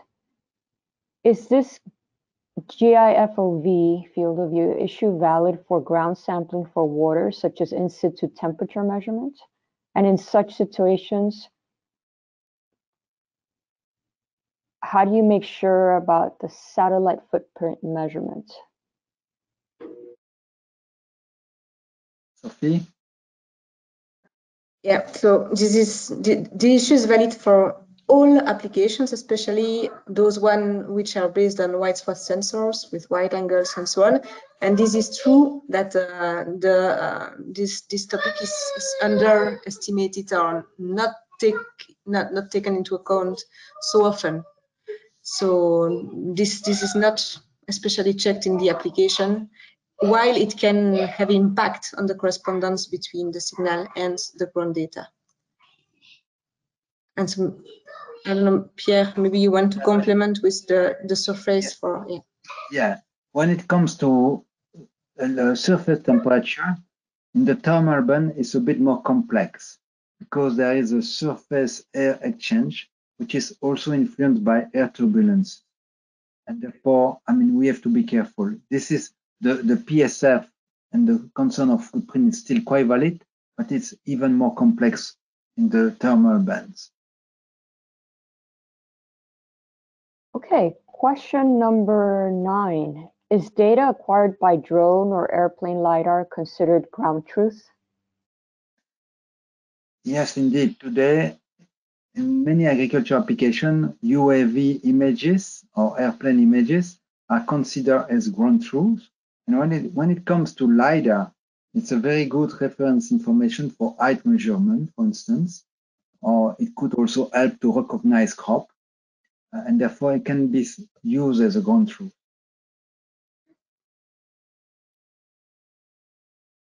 Great. Question 10. This is a question related to comparing crop phenology, the best way to compare crop phenology using remote sensing time series. So what is which approach has the best performance? Classifying crops using phenometrics like minimum or amplitude, or just measuring time series distance with something like RMS? So this is indeed a, very good a very good question, and the answer is it will depend on your application. So if the application is to do near real-time monitoring of the growing cycle, for instance, so the best approach is certainly uh, the comparison of the time series with the objective to detect any anomalies. Um, the map mapping approach will be used in, in other contexts where you are interested, for instance, to identify the crops that have the same phenology within an area of interest, uh, to understand seasonal dynamics within your region, uh, to map the different uh, phenological stages within your region, uh, or even to group, as it was shown in, in, in one example in China, to group the different crop species based on, on their phenology. So there is no one best approach. It, it will it will really depend on what you on what you intend to to do with this phenological information. Okay, question 11. For time series analysis, how do you obtain the NDVI time profiles? First, to have a clean NDVI profile, you should only include cloud-free atmospherically corrected observation. But even so, these are disconnected value, and to have a smooth line, it can be interpolated using one of the various algorithms, like the Savitzky-Golay methods or the spline approach, which are mathematical methods for smoothing line.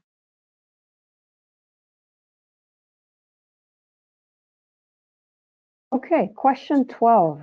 Is it possible to get support for setting up a Python environment for using Snap in case someone gets stuck?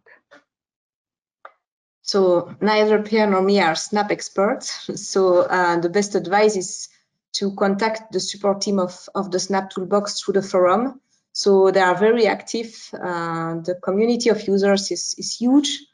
Um, and you can maybe already find some answers in the previous discussion, but in, in any case, there is a dedicated uh, team on ESA supporting the users uh, that, that, can, uh, that can help you on that. Great. Question 13. I didn't understand the derivation of a MAC, to, how to derive a map from phenometric analysis, and what will this map indicate? A phenometric map would, for instance, show shows the date of the start of the season, which is a phenometric uh, variable, uh, for each pixel of the image. And therefore, you can imagine an image, and a map displaying in different colors the different dates of start of the season, showing the spatial diversity of the start of the season, for instance. And this, therefore, this could be the same for any other phenometrics. You display dates typically or length of the season and so on. Okay, question 14. Is this approach applicable to trees? So this is uh, this is the same answer than at the beginning question two. So the approach uh, of classification um, is is, is um, phenological analysis is the same uh, for any kind of vegetation. In this case, for the phenology, any kind of vegetation that shows a seasonality. Um, so you can have um, you, you, can apply the, the same concept. There are phenological products existing, and I put two examples of global products uh, or pan-European products that monitor the phenology, um, not focusing on crop. Then what becomes really interesting in the field of uh, in, in, in, agriculture is when you can do this crop growing monitoring um, at um, in, a, in a crop specific way and to to have a to have a signal which which is specific to a given crop. But the approach is the same for any kind of, of uh, vegetation. Yes. Good. Okay, question 15. Can you share how you achieved these field level results? So in the in the examples that were shown in the in the slides, uh, it comes from the Sen4Cap project, many of them for the agricultural practices monitoring. And so you should know that in Europe, uh, we have the chains that uh, field, fields delineation is available in most of the countries. And so here we uh, uh we are not working pixel based, but we uh, were working at the level of the field. So we uh, calculated the average of NDVI or the average of the backscatter of the or the coherence to make the to make the analysis. This is this okay. is an input. Yeah. Go ahead. Sorry.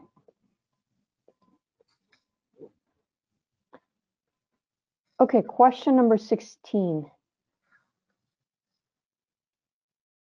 What are the triangles in the mowing detection graph? so this was so this was a this is a very specific question. So I don't know if you remember the graph, but uh, the the yellow triangles correspond to the not the date of the detection, but the period of the detection of the mowing. So the detection is not um, provided as a unique date, but uh, we, we put a, start and end date of the period during which the mowing is detected, because there is a, a, a consolidation of the detection and making that we wait for a second uh, observation coming either from Sentinel-2 or from Sentinel-1. And so the, the, the, dating is on a period basis and not uh, on a single date basis. All right, question 17 focused on coastal.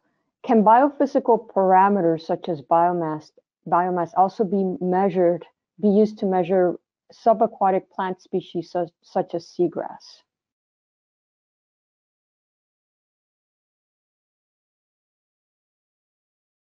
We do not have any experience in subaquatic measurement by satellite. Maybe around the table of the panelists, some panelists do have some experience. They would be most welcome to comment. Uh, what we can say is, of course, there is an ocean color community observing the water chlorophyll content by satellite. And this is a very active research field where probably you may find your answer. Yeah, absolutely. Okay, question 18. In, in the mowing detection graphs, how do you attribute a single NDVI value to a parcel? Do you average the NDVI values for every pixel on the parcel, or do you calculate some other statistics? And how do you deal with non-homogeneous parcels? So the, the NDVI, um, as I just explained, the NDVI signal is uh, averaged at the parcel level. So the parcel boundary is an input of the analysis. Uh, and when we do this average, we removed the boundaries pixels, so the pixels which do not have the centroid within uh, the, um, the, the parcel. And so, uh, so yeah, so this is an average. Um, regarding the question on the homogeneity of these parcels, here we assumed that all the parcels were homogeneous.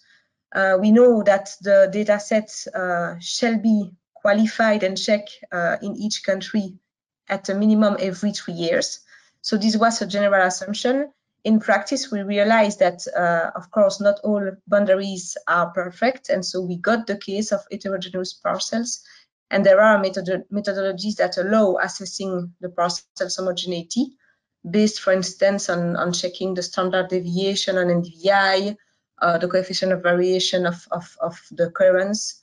And, and these, uh, let's say, check of the parcel's homogeneity sh should be applied as an a priori, so before doing any uh, detection of, of events, to focus only on the parcels which are homogeneous but this was here in, in, in the experiment, the assumption was that all the parcels were homogeneous. Okay, question 19. What do you mean by coherence with SAR data? So the, I don't know, Pierre, do you want to answer? Or? Sure, thank you. The coherence is a variable derived from a pair of SAR observation based on the inter interferometric methods, which are rather complex, uh, let's say, methods using SLC dataset. The coherence is actually computed from two SAR images recorded by exactly the same instrument and following closely each other, typically at six days apart from the same Sentinel-1. And finally, the coherence expresses the similarity of the radar reflection between them. And this is why we can see that the coherence is increasing when there is no movement of the vegetation from one day to another, allowing to detect that we have a bare soil. But if we have vegetation, there will be movement in the vegetation, and therefore the reflection will not be exactly similar, and the coherence will be lower. Okay, question 20. In recent years, there's an increasing tendency to plant two or more crops in the same season, multi-cropping, and several varieties of cover crops to protect soil from erosion. Are these practices taken into account or do you assume that only one crop at a time is grown and harvested in a certain field? So I can start answering with really the, the examples that were shown in, in, in the presentation. So in the presentation, so there we assumed, and so this was mentioned like this by the farmers, that there is only one crop at a time grown and harvested in a certain field.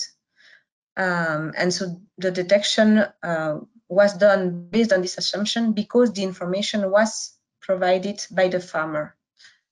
In, in case of several crops, then we, of course, we should know more about, uh, the, for instance, the proportion between these two crops uh, to be able to adapt the approach.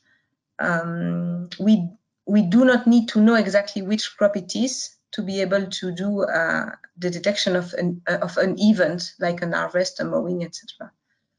Um, so yeah, so it it will really it will really depend on the application if we need to know what are the different crops uh, on the field in the case of multi, multi-cropping. In the case of a classification for multi, in the case of a classification of, of multi-cropping, for instance, um, the different crops associate, on the, associated on the same field might become uh, a single legend item to be classified with because it will have a, a specific spectral signal, for instance. So yeah, it really depends on the application. Thank you, Sophie. But I would also add that I understood the question a bit differently. That if we have several crops following each other during the season, like a main crop, then a cover crops, then actually this is handled by the system. I mean, the agriculture practice can handle the the, the fact that there is two sequential crops. Yes, this one, yes, sequential crop on the uh, on the same field. Yes, this is this is fully addressed. All right.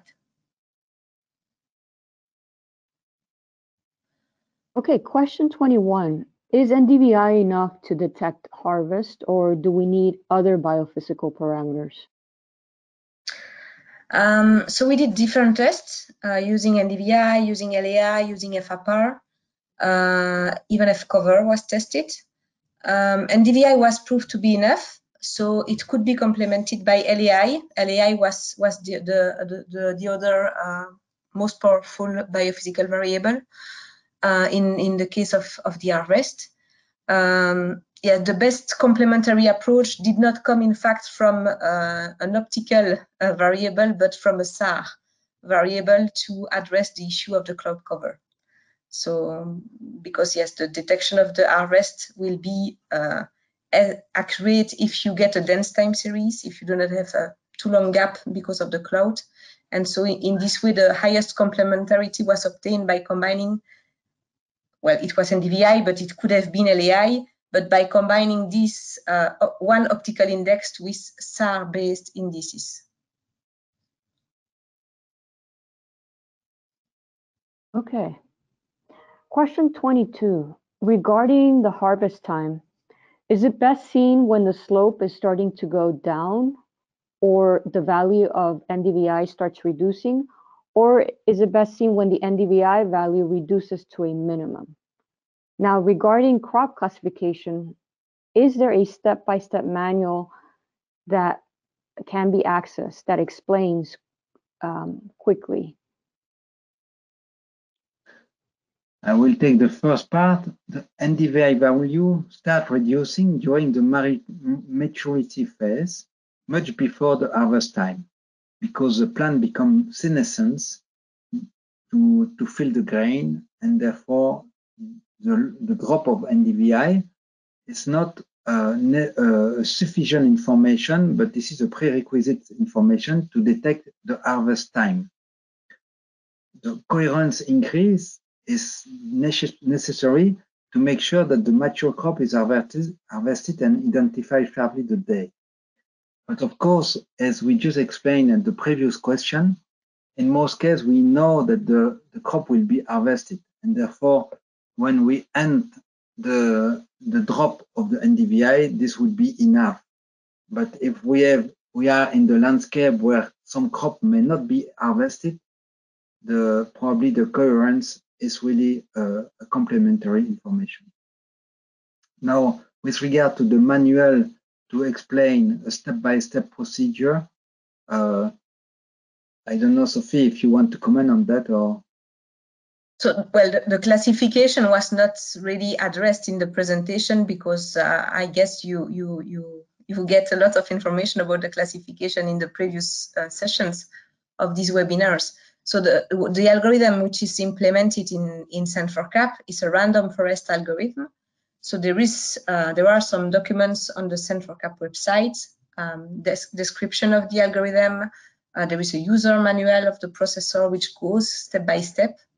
Um, but uh, yeah, this, is there is nothing uh, original in the algorithm which uh, is uh, has been used in in these in these examples.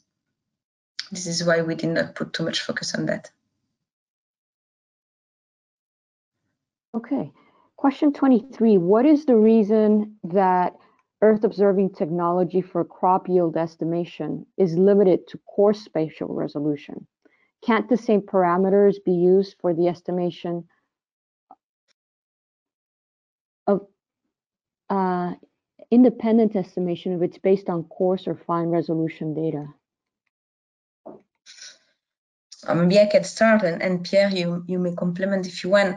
So um, the, the main message was that in terms of operational applications, many of them, most of them are based on coarse resolution for historical reasons.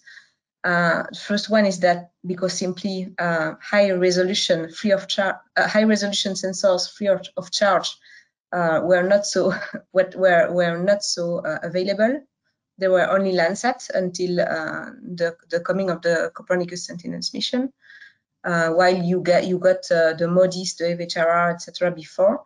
So this is why this this is why um, operational applications were based on coarse spatial resolution.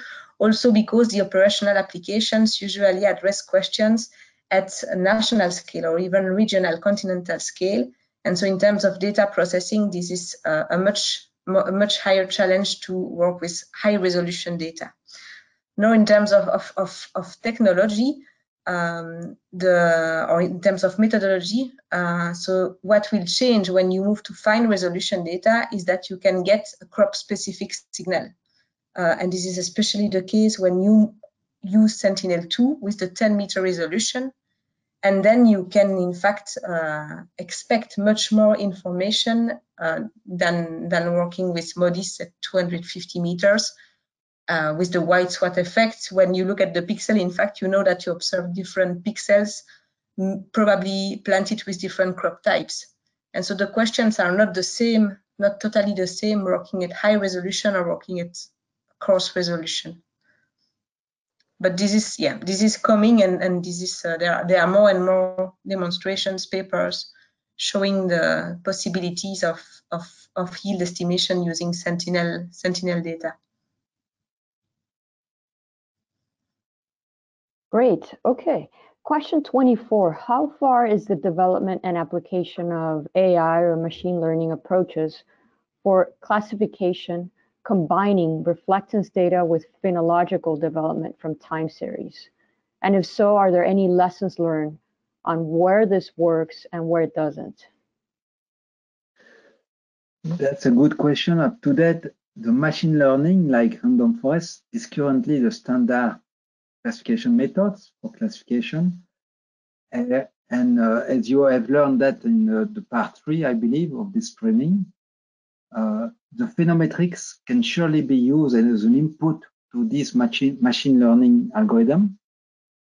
Now, when it comes to artificial intelligence, strictly speaking, the deep learning, uh, this is currently a very active field of research, showing some very great successes, but also challenges. For instance, you need a very large calibration dataset. And as you know, agriculture is changing every year and therefore this is tedious or heavy. And also there is a limited transferability of these AI models from one, one region to another or from one season to another. And therefore this is where the research activities are taking place today. Okay, question 25. Can we use CubeSats for yield estimation? I would say that yeah, there is no reason for which you could not use CubeSat. So yes, you could use it.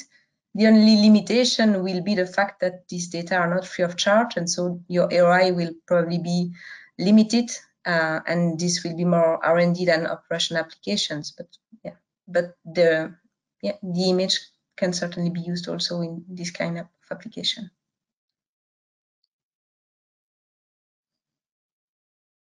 Okay, question 26. Sometimes ground truth data is difficult to collect, such as in remote areas with difficult accessibility. Are there any good examples using col uh, collecting like surrogate ground truth using planes or mid-long range drones? So I guess this is related to a previous question. Yes, and, and the answer is, is yes. Um, in, in Sen2Agri within the user community we, we got, there are several examples of in-situ data collection carried out by UAVs or by light aircraft. Uh, I put some um, a, a, webinar presentation of Sen2Agri where uh, the example of South Africa is uh, shown. So in South Africa, they are doing uh, each year a ground data collection using light aircraft. Um, and so there are some details in the presentation.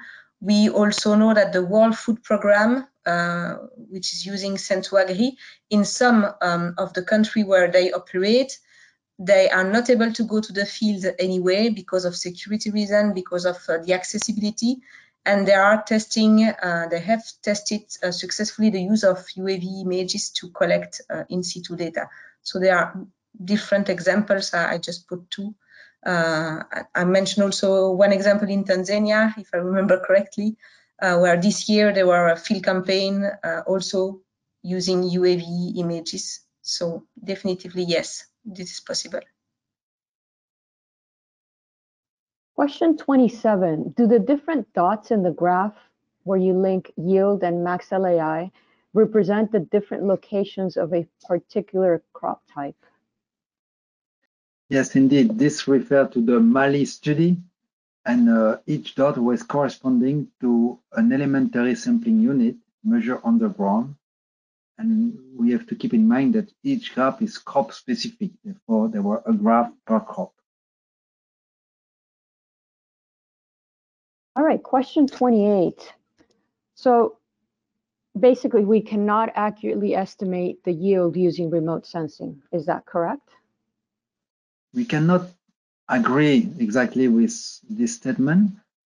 The yield estimation system based on satellite observation, which are working operationally today, has been calibrated for a given context. Therefore, There have been there have been development to, to provide yield estimation operationally, but this is more local application for a given region with given agricultural practices. It is, however, also common to combine many sources of information like crop growth modeling, agrometeorological indicators, trend analysis, in addition to the satellite remote sensing to provide yield estimation or at least crop condition all over the world. And I provide three links there where you have institutional uh, bulletin providing information about the ongoing season all over the world. Okay, question 29. What is the accuracy of SNAP in LAI retrieval for different vegetation types, such as agriculture, forest, and grassland? So the in SNAP, the LAI retrieval algorithm which is implemented is uh, the one based on BVNet approach, uh, which was introduced in the in this presentation. And this BVNet approach is also the one implemented in Sen2Agri Sen4CAP system. Um, so it was the, the, so the algorithm is documented in a document where that uh, where for, for which I put the link here. And so the the validation of of this processor was done was done um, only on crops, if if my, if uh, I'm correct. So I'm not 100% sure, but I think that the validation so far has been done has been done only uh, over crops. Uh, and so you get in, in, in these documents some information, already some graphics about the validation figures. And at the end, you get some nice um, reference of papers focusing on, on this validation uh, question. Okay, question number 30. Does this system only work with Sentinel-2 or Landsat 8? Can we work with Sentinel-1 or Sentinel-2? So for the Sen2Agri system, this is working only with optical data from Sentinel-2 and Landsat 8. There is no Sentinel-1 in the Sen2Agri system. Sentinel-1 has been included uh, in the Sen4CAP system with the, uh, let's say, uh, the, the, specificity that uh, in Sen4CAP you need to work by object and not by pixel. Uh, in the coming Sen4Stat system, which is not yet available, Sentinel-1 will also be included following a per pixel approach. So this is a kind of evolution between the different tools.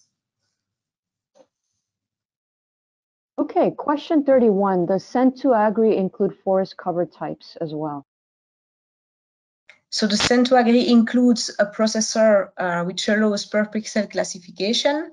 Uh, within um, the project, we qualified and we uh, demonstrated the processor in the specific context of, of crop classification, but uh, it can be used for any type of classification, forest or other cover types, etc. And so in the user community, we have some success, successful examples of uh, uh, using the processor for general land cover mapping uh, in Indonesia, for instance, or forest type classification. So this was this was done by, by other users. Okay, question 32 along Sen2Agri. Can we extract Sen2Agri products from past years, assuming that I have past years training data?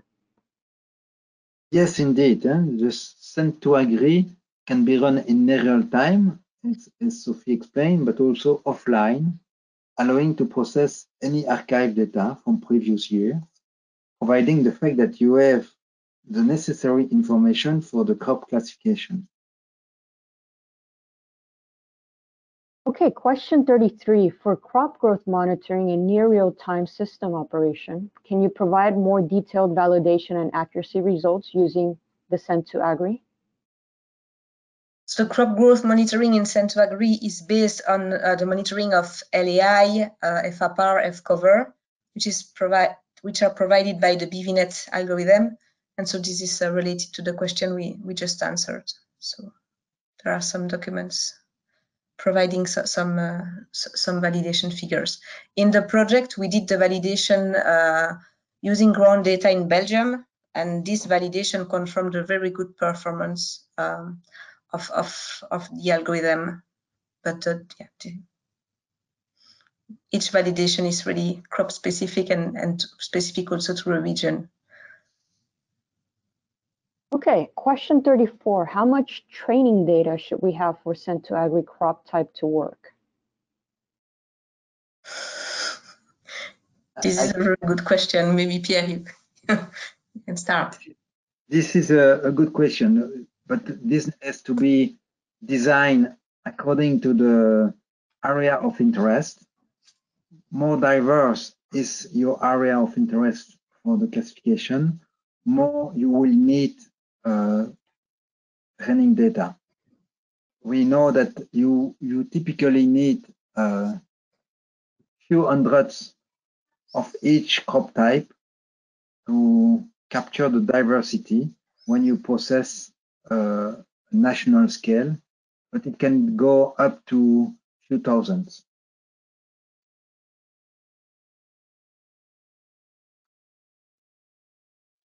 All right, thank you.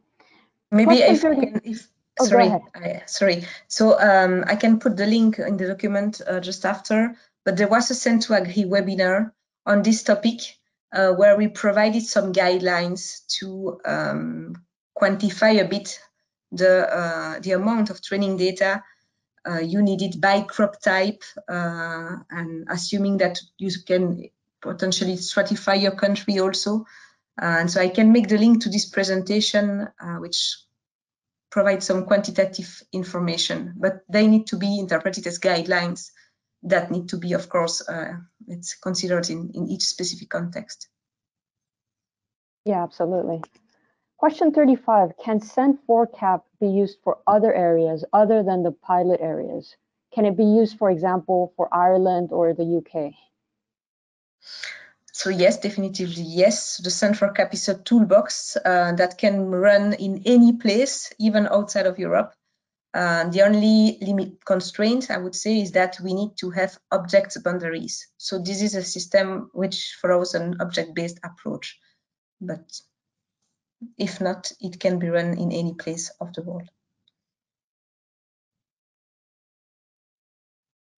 Great. Question 36. Can we download products from Sen4CAP using shapefiles? Do the products have global coverage? Maybe just to clarify, the Sen4CAP is, is a toolbox. This is not a set of products. So there are no products that you can download from Sen4CAP. You need to download the, the toolbox and to uh, run the toolbox by yourself to generate your own products. Okay, good clarification there. Uh, question 37, to use SAR biophysical parameters, do we also need to collect field data or are we just relying on the coherence data mentioned earlier? So there is no, it, it, it really depends on the algorithm which is used to derive the biophysical parameters. So from for Sentinel-2, so the biophysical parameters are derived from the BVNet approach, and there is no need of in situ data uh, to derive these, these uh, biophysical parameters. Here in the question, it seems that um, the, the, question refers to coherence data. And uh, so to derive coherence data, there is no need to, uh, there is no need for field data. So this is difficult to provide a generic answer it depends on the parameters and on the method which is used to derive it. Okay, question 38. Can we exclude agroforestry from cropland with Sentinel-2 or Sentinel-1 images through crop classification? Take that one if you want, Sophie. Uh, this will depend of your agroforestry patterns. If you have major fields uh, major trees in, in your in your uh, agricultural land, then of course you can capture this these trees using high resolution imagery. If these are some uh, linear linear feature which are very narrow, then it will be very difficult to take out the agroforestry feature out of the cropland. Therefore, this is very much a matter of spatial resolution much more than uh, optical or SAR information. Okay, question 39. Can soil types be identified using indices? And if so, which indices are preferable for this? And this is a difficult question because if you are soil scientists, you will know that the soil type are not referring to the soil color, and therefore they are referring to the soil profile, uh, the depth of the soil, the drainage of the soil, and so on. But in some places, soil type can be related to the soil color. And in this case, we can say that we can have a kind of coarse information about the soil type based on the soil the, the surface color. Uh, and in terms of the indices, it really depends of the area that you are looking at. Okay. Could be, bright, could be brightness, typically. I'm sorry, go ahead. It could be a soil brightness index, for instance.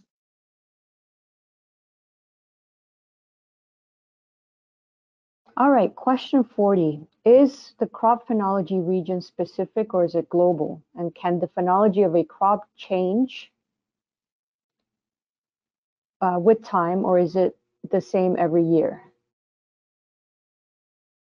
We can, we can say that the phenology is completely variable from one place to another, from a species to another, from a season to another. There is no not uh, uh, an identical agriculture season. But of course, there are crop calendar, which give us an idea of when a plant is sown, when a plant is harvested. But these are not crop phenometrics. These are crop calendar. And about the difference uh, between years, this is exactly the interest of monitoring the phenology um, to know how the crops will behave uh, this year compared to previous years. So all the early warning systems, for instance, are based on, on this uh, monitoring of the current crop conditions and the comparison with the previous years to detect any anomaly. Okay, question 41. How do you get the biophysical parameters of the lower canopy in case of intercropping? If the in intercropping are, have the same phenology, meaning they are green at the same time, then there is no way you can separate the the underneath crop, I mean the lower canopy, uh, with regard to the other one. It will be combined in your biophysical variables, and therefore the LAI will be a combined LAI typically. Of course, if you have a very high resolution, and you can separate spatially because you see the row of the lower canopy and the row of the upper canopy, but this is very high resolution which is needed to do so.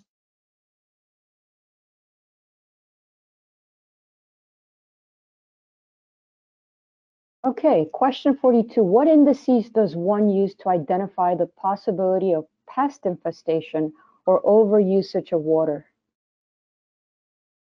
Uh, this is, uh, these are topics of research. Pest infestation are related to the symptom on the leaf level or the structure, the internal structure of the leaf. Typically, this will be related to the red edge or the near infrared bands. If you, if you look in the presentation, there is a small illustration where we can see the senescence of the leaf, but pest symptom will be the same. Uh, now for the water, the NDWI is probably a good solution for the water stress. The over usage of water will not be visible in the plant at the plant level. Uh, and this will be probably related to the, the soil moisture, which could be detected by SAR information.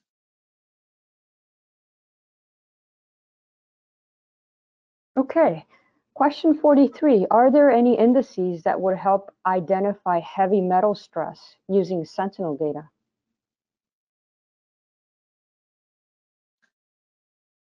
To be honest, this one I, I don't know. I am not aware of any very specific one.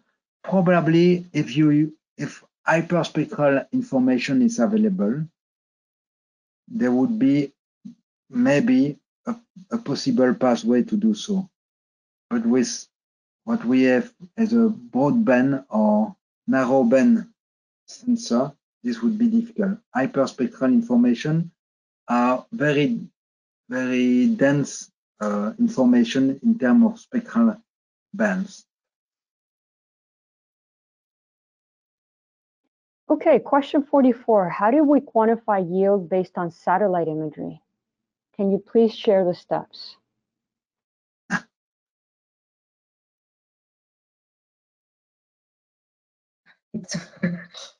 uh, as Sophie explained, I mean, there are several modeling approach.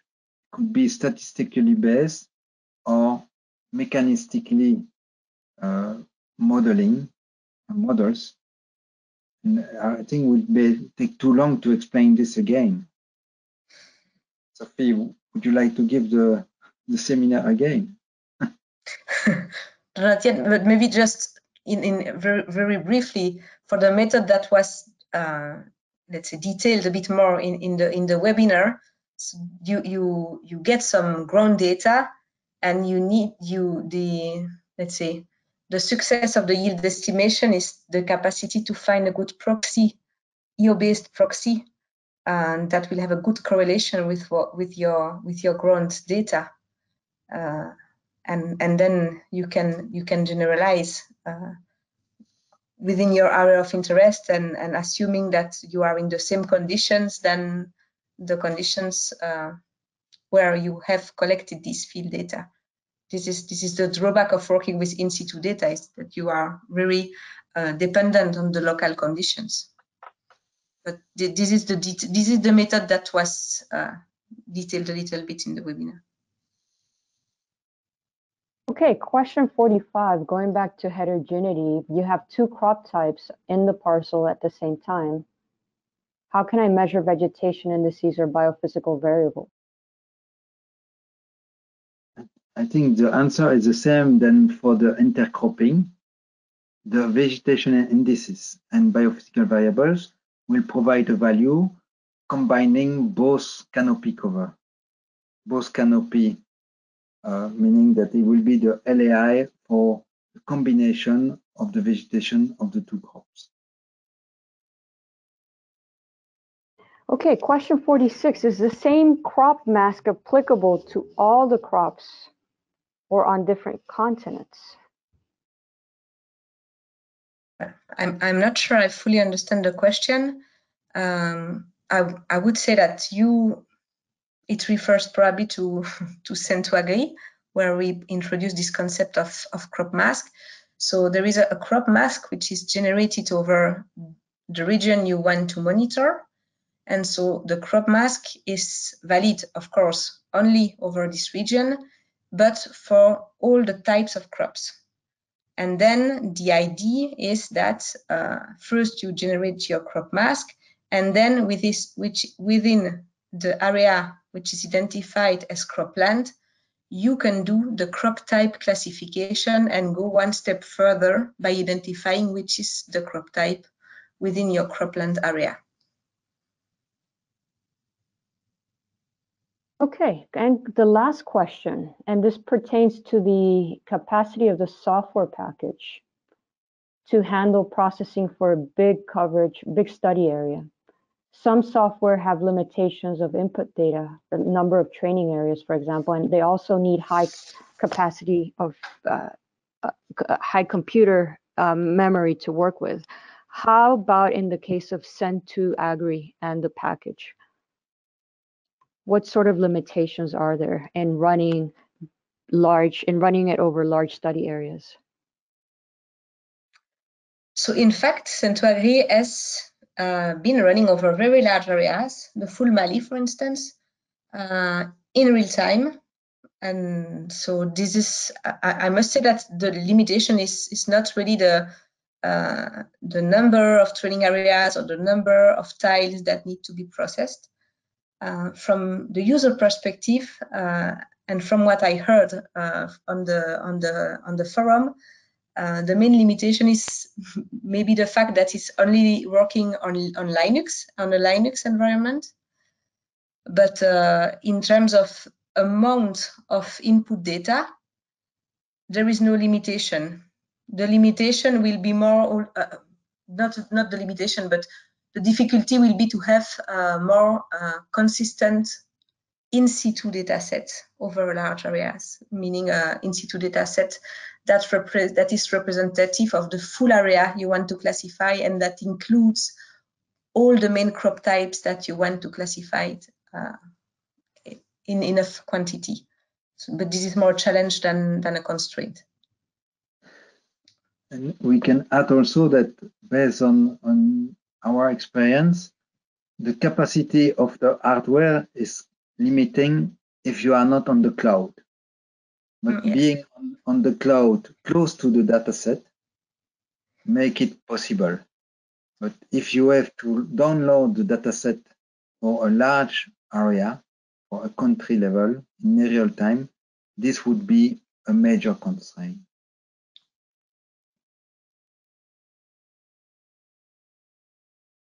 Okay, great points. So with that, we've reached the end of this session.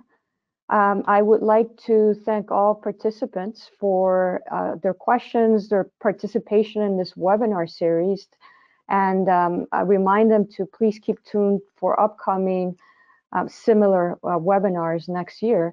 I would especially like to thank uh, Professor Defourny and Dr. Bontemps for the excellent presentation today and the excellent handling of the questions. Um, so uh, before I close, uh, Professor Defourny, would you like to say any closing words? Oh, I would like to thank you all for your attention, your very nice question, your enthusiastic motivation for remote sensing in agriculture.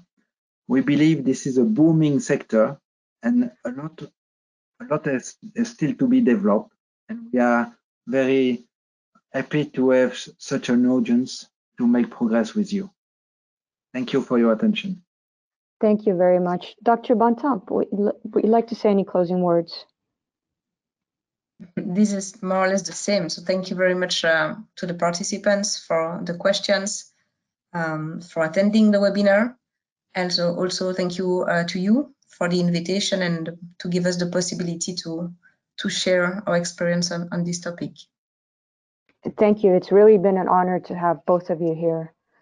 So um, before I close, I'd like to thank the ARSET team, um, Jonathan O'Brien, Selwyn Hudson-Odoi, and especially to Brock Blevins, and to ARSET instructor Sean McCartney, who's played a big role in helping uh, put all of this together and with all the coordination.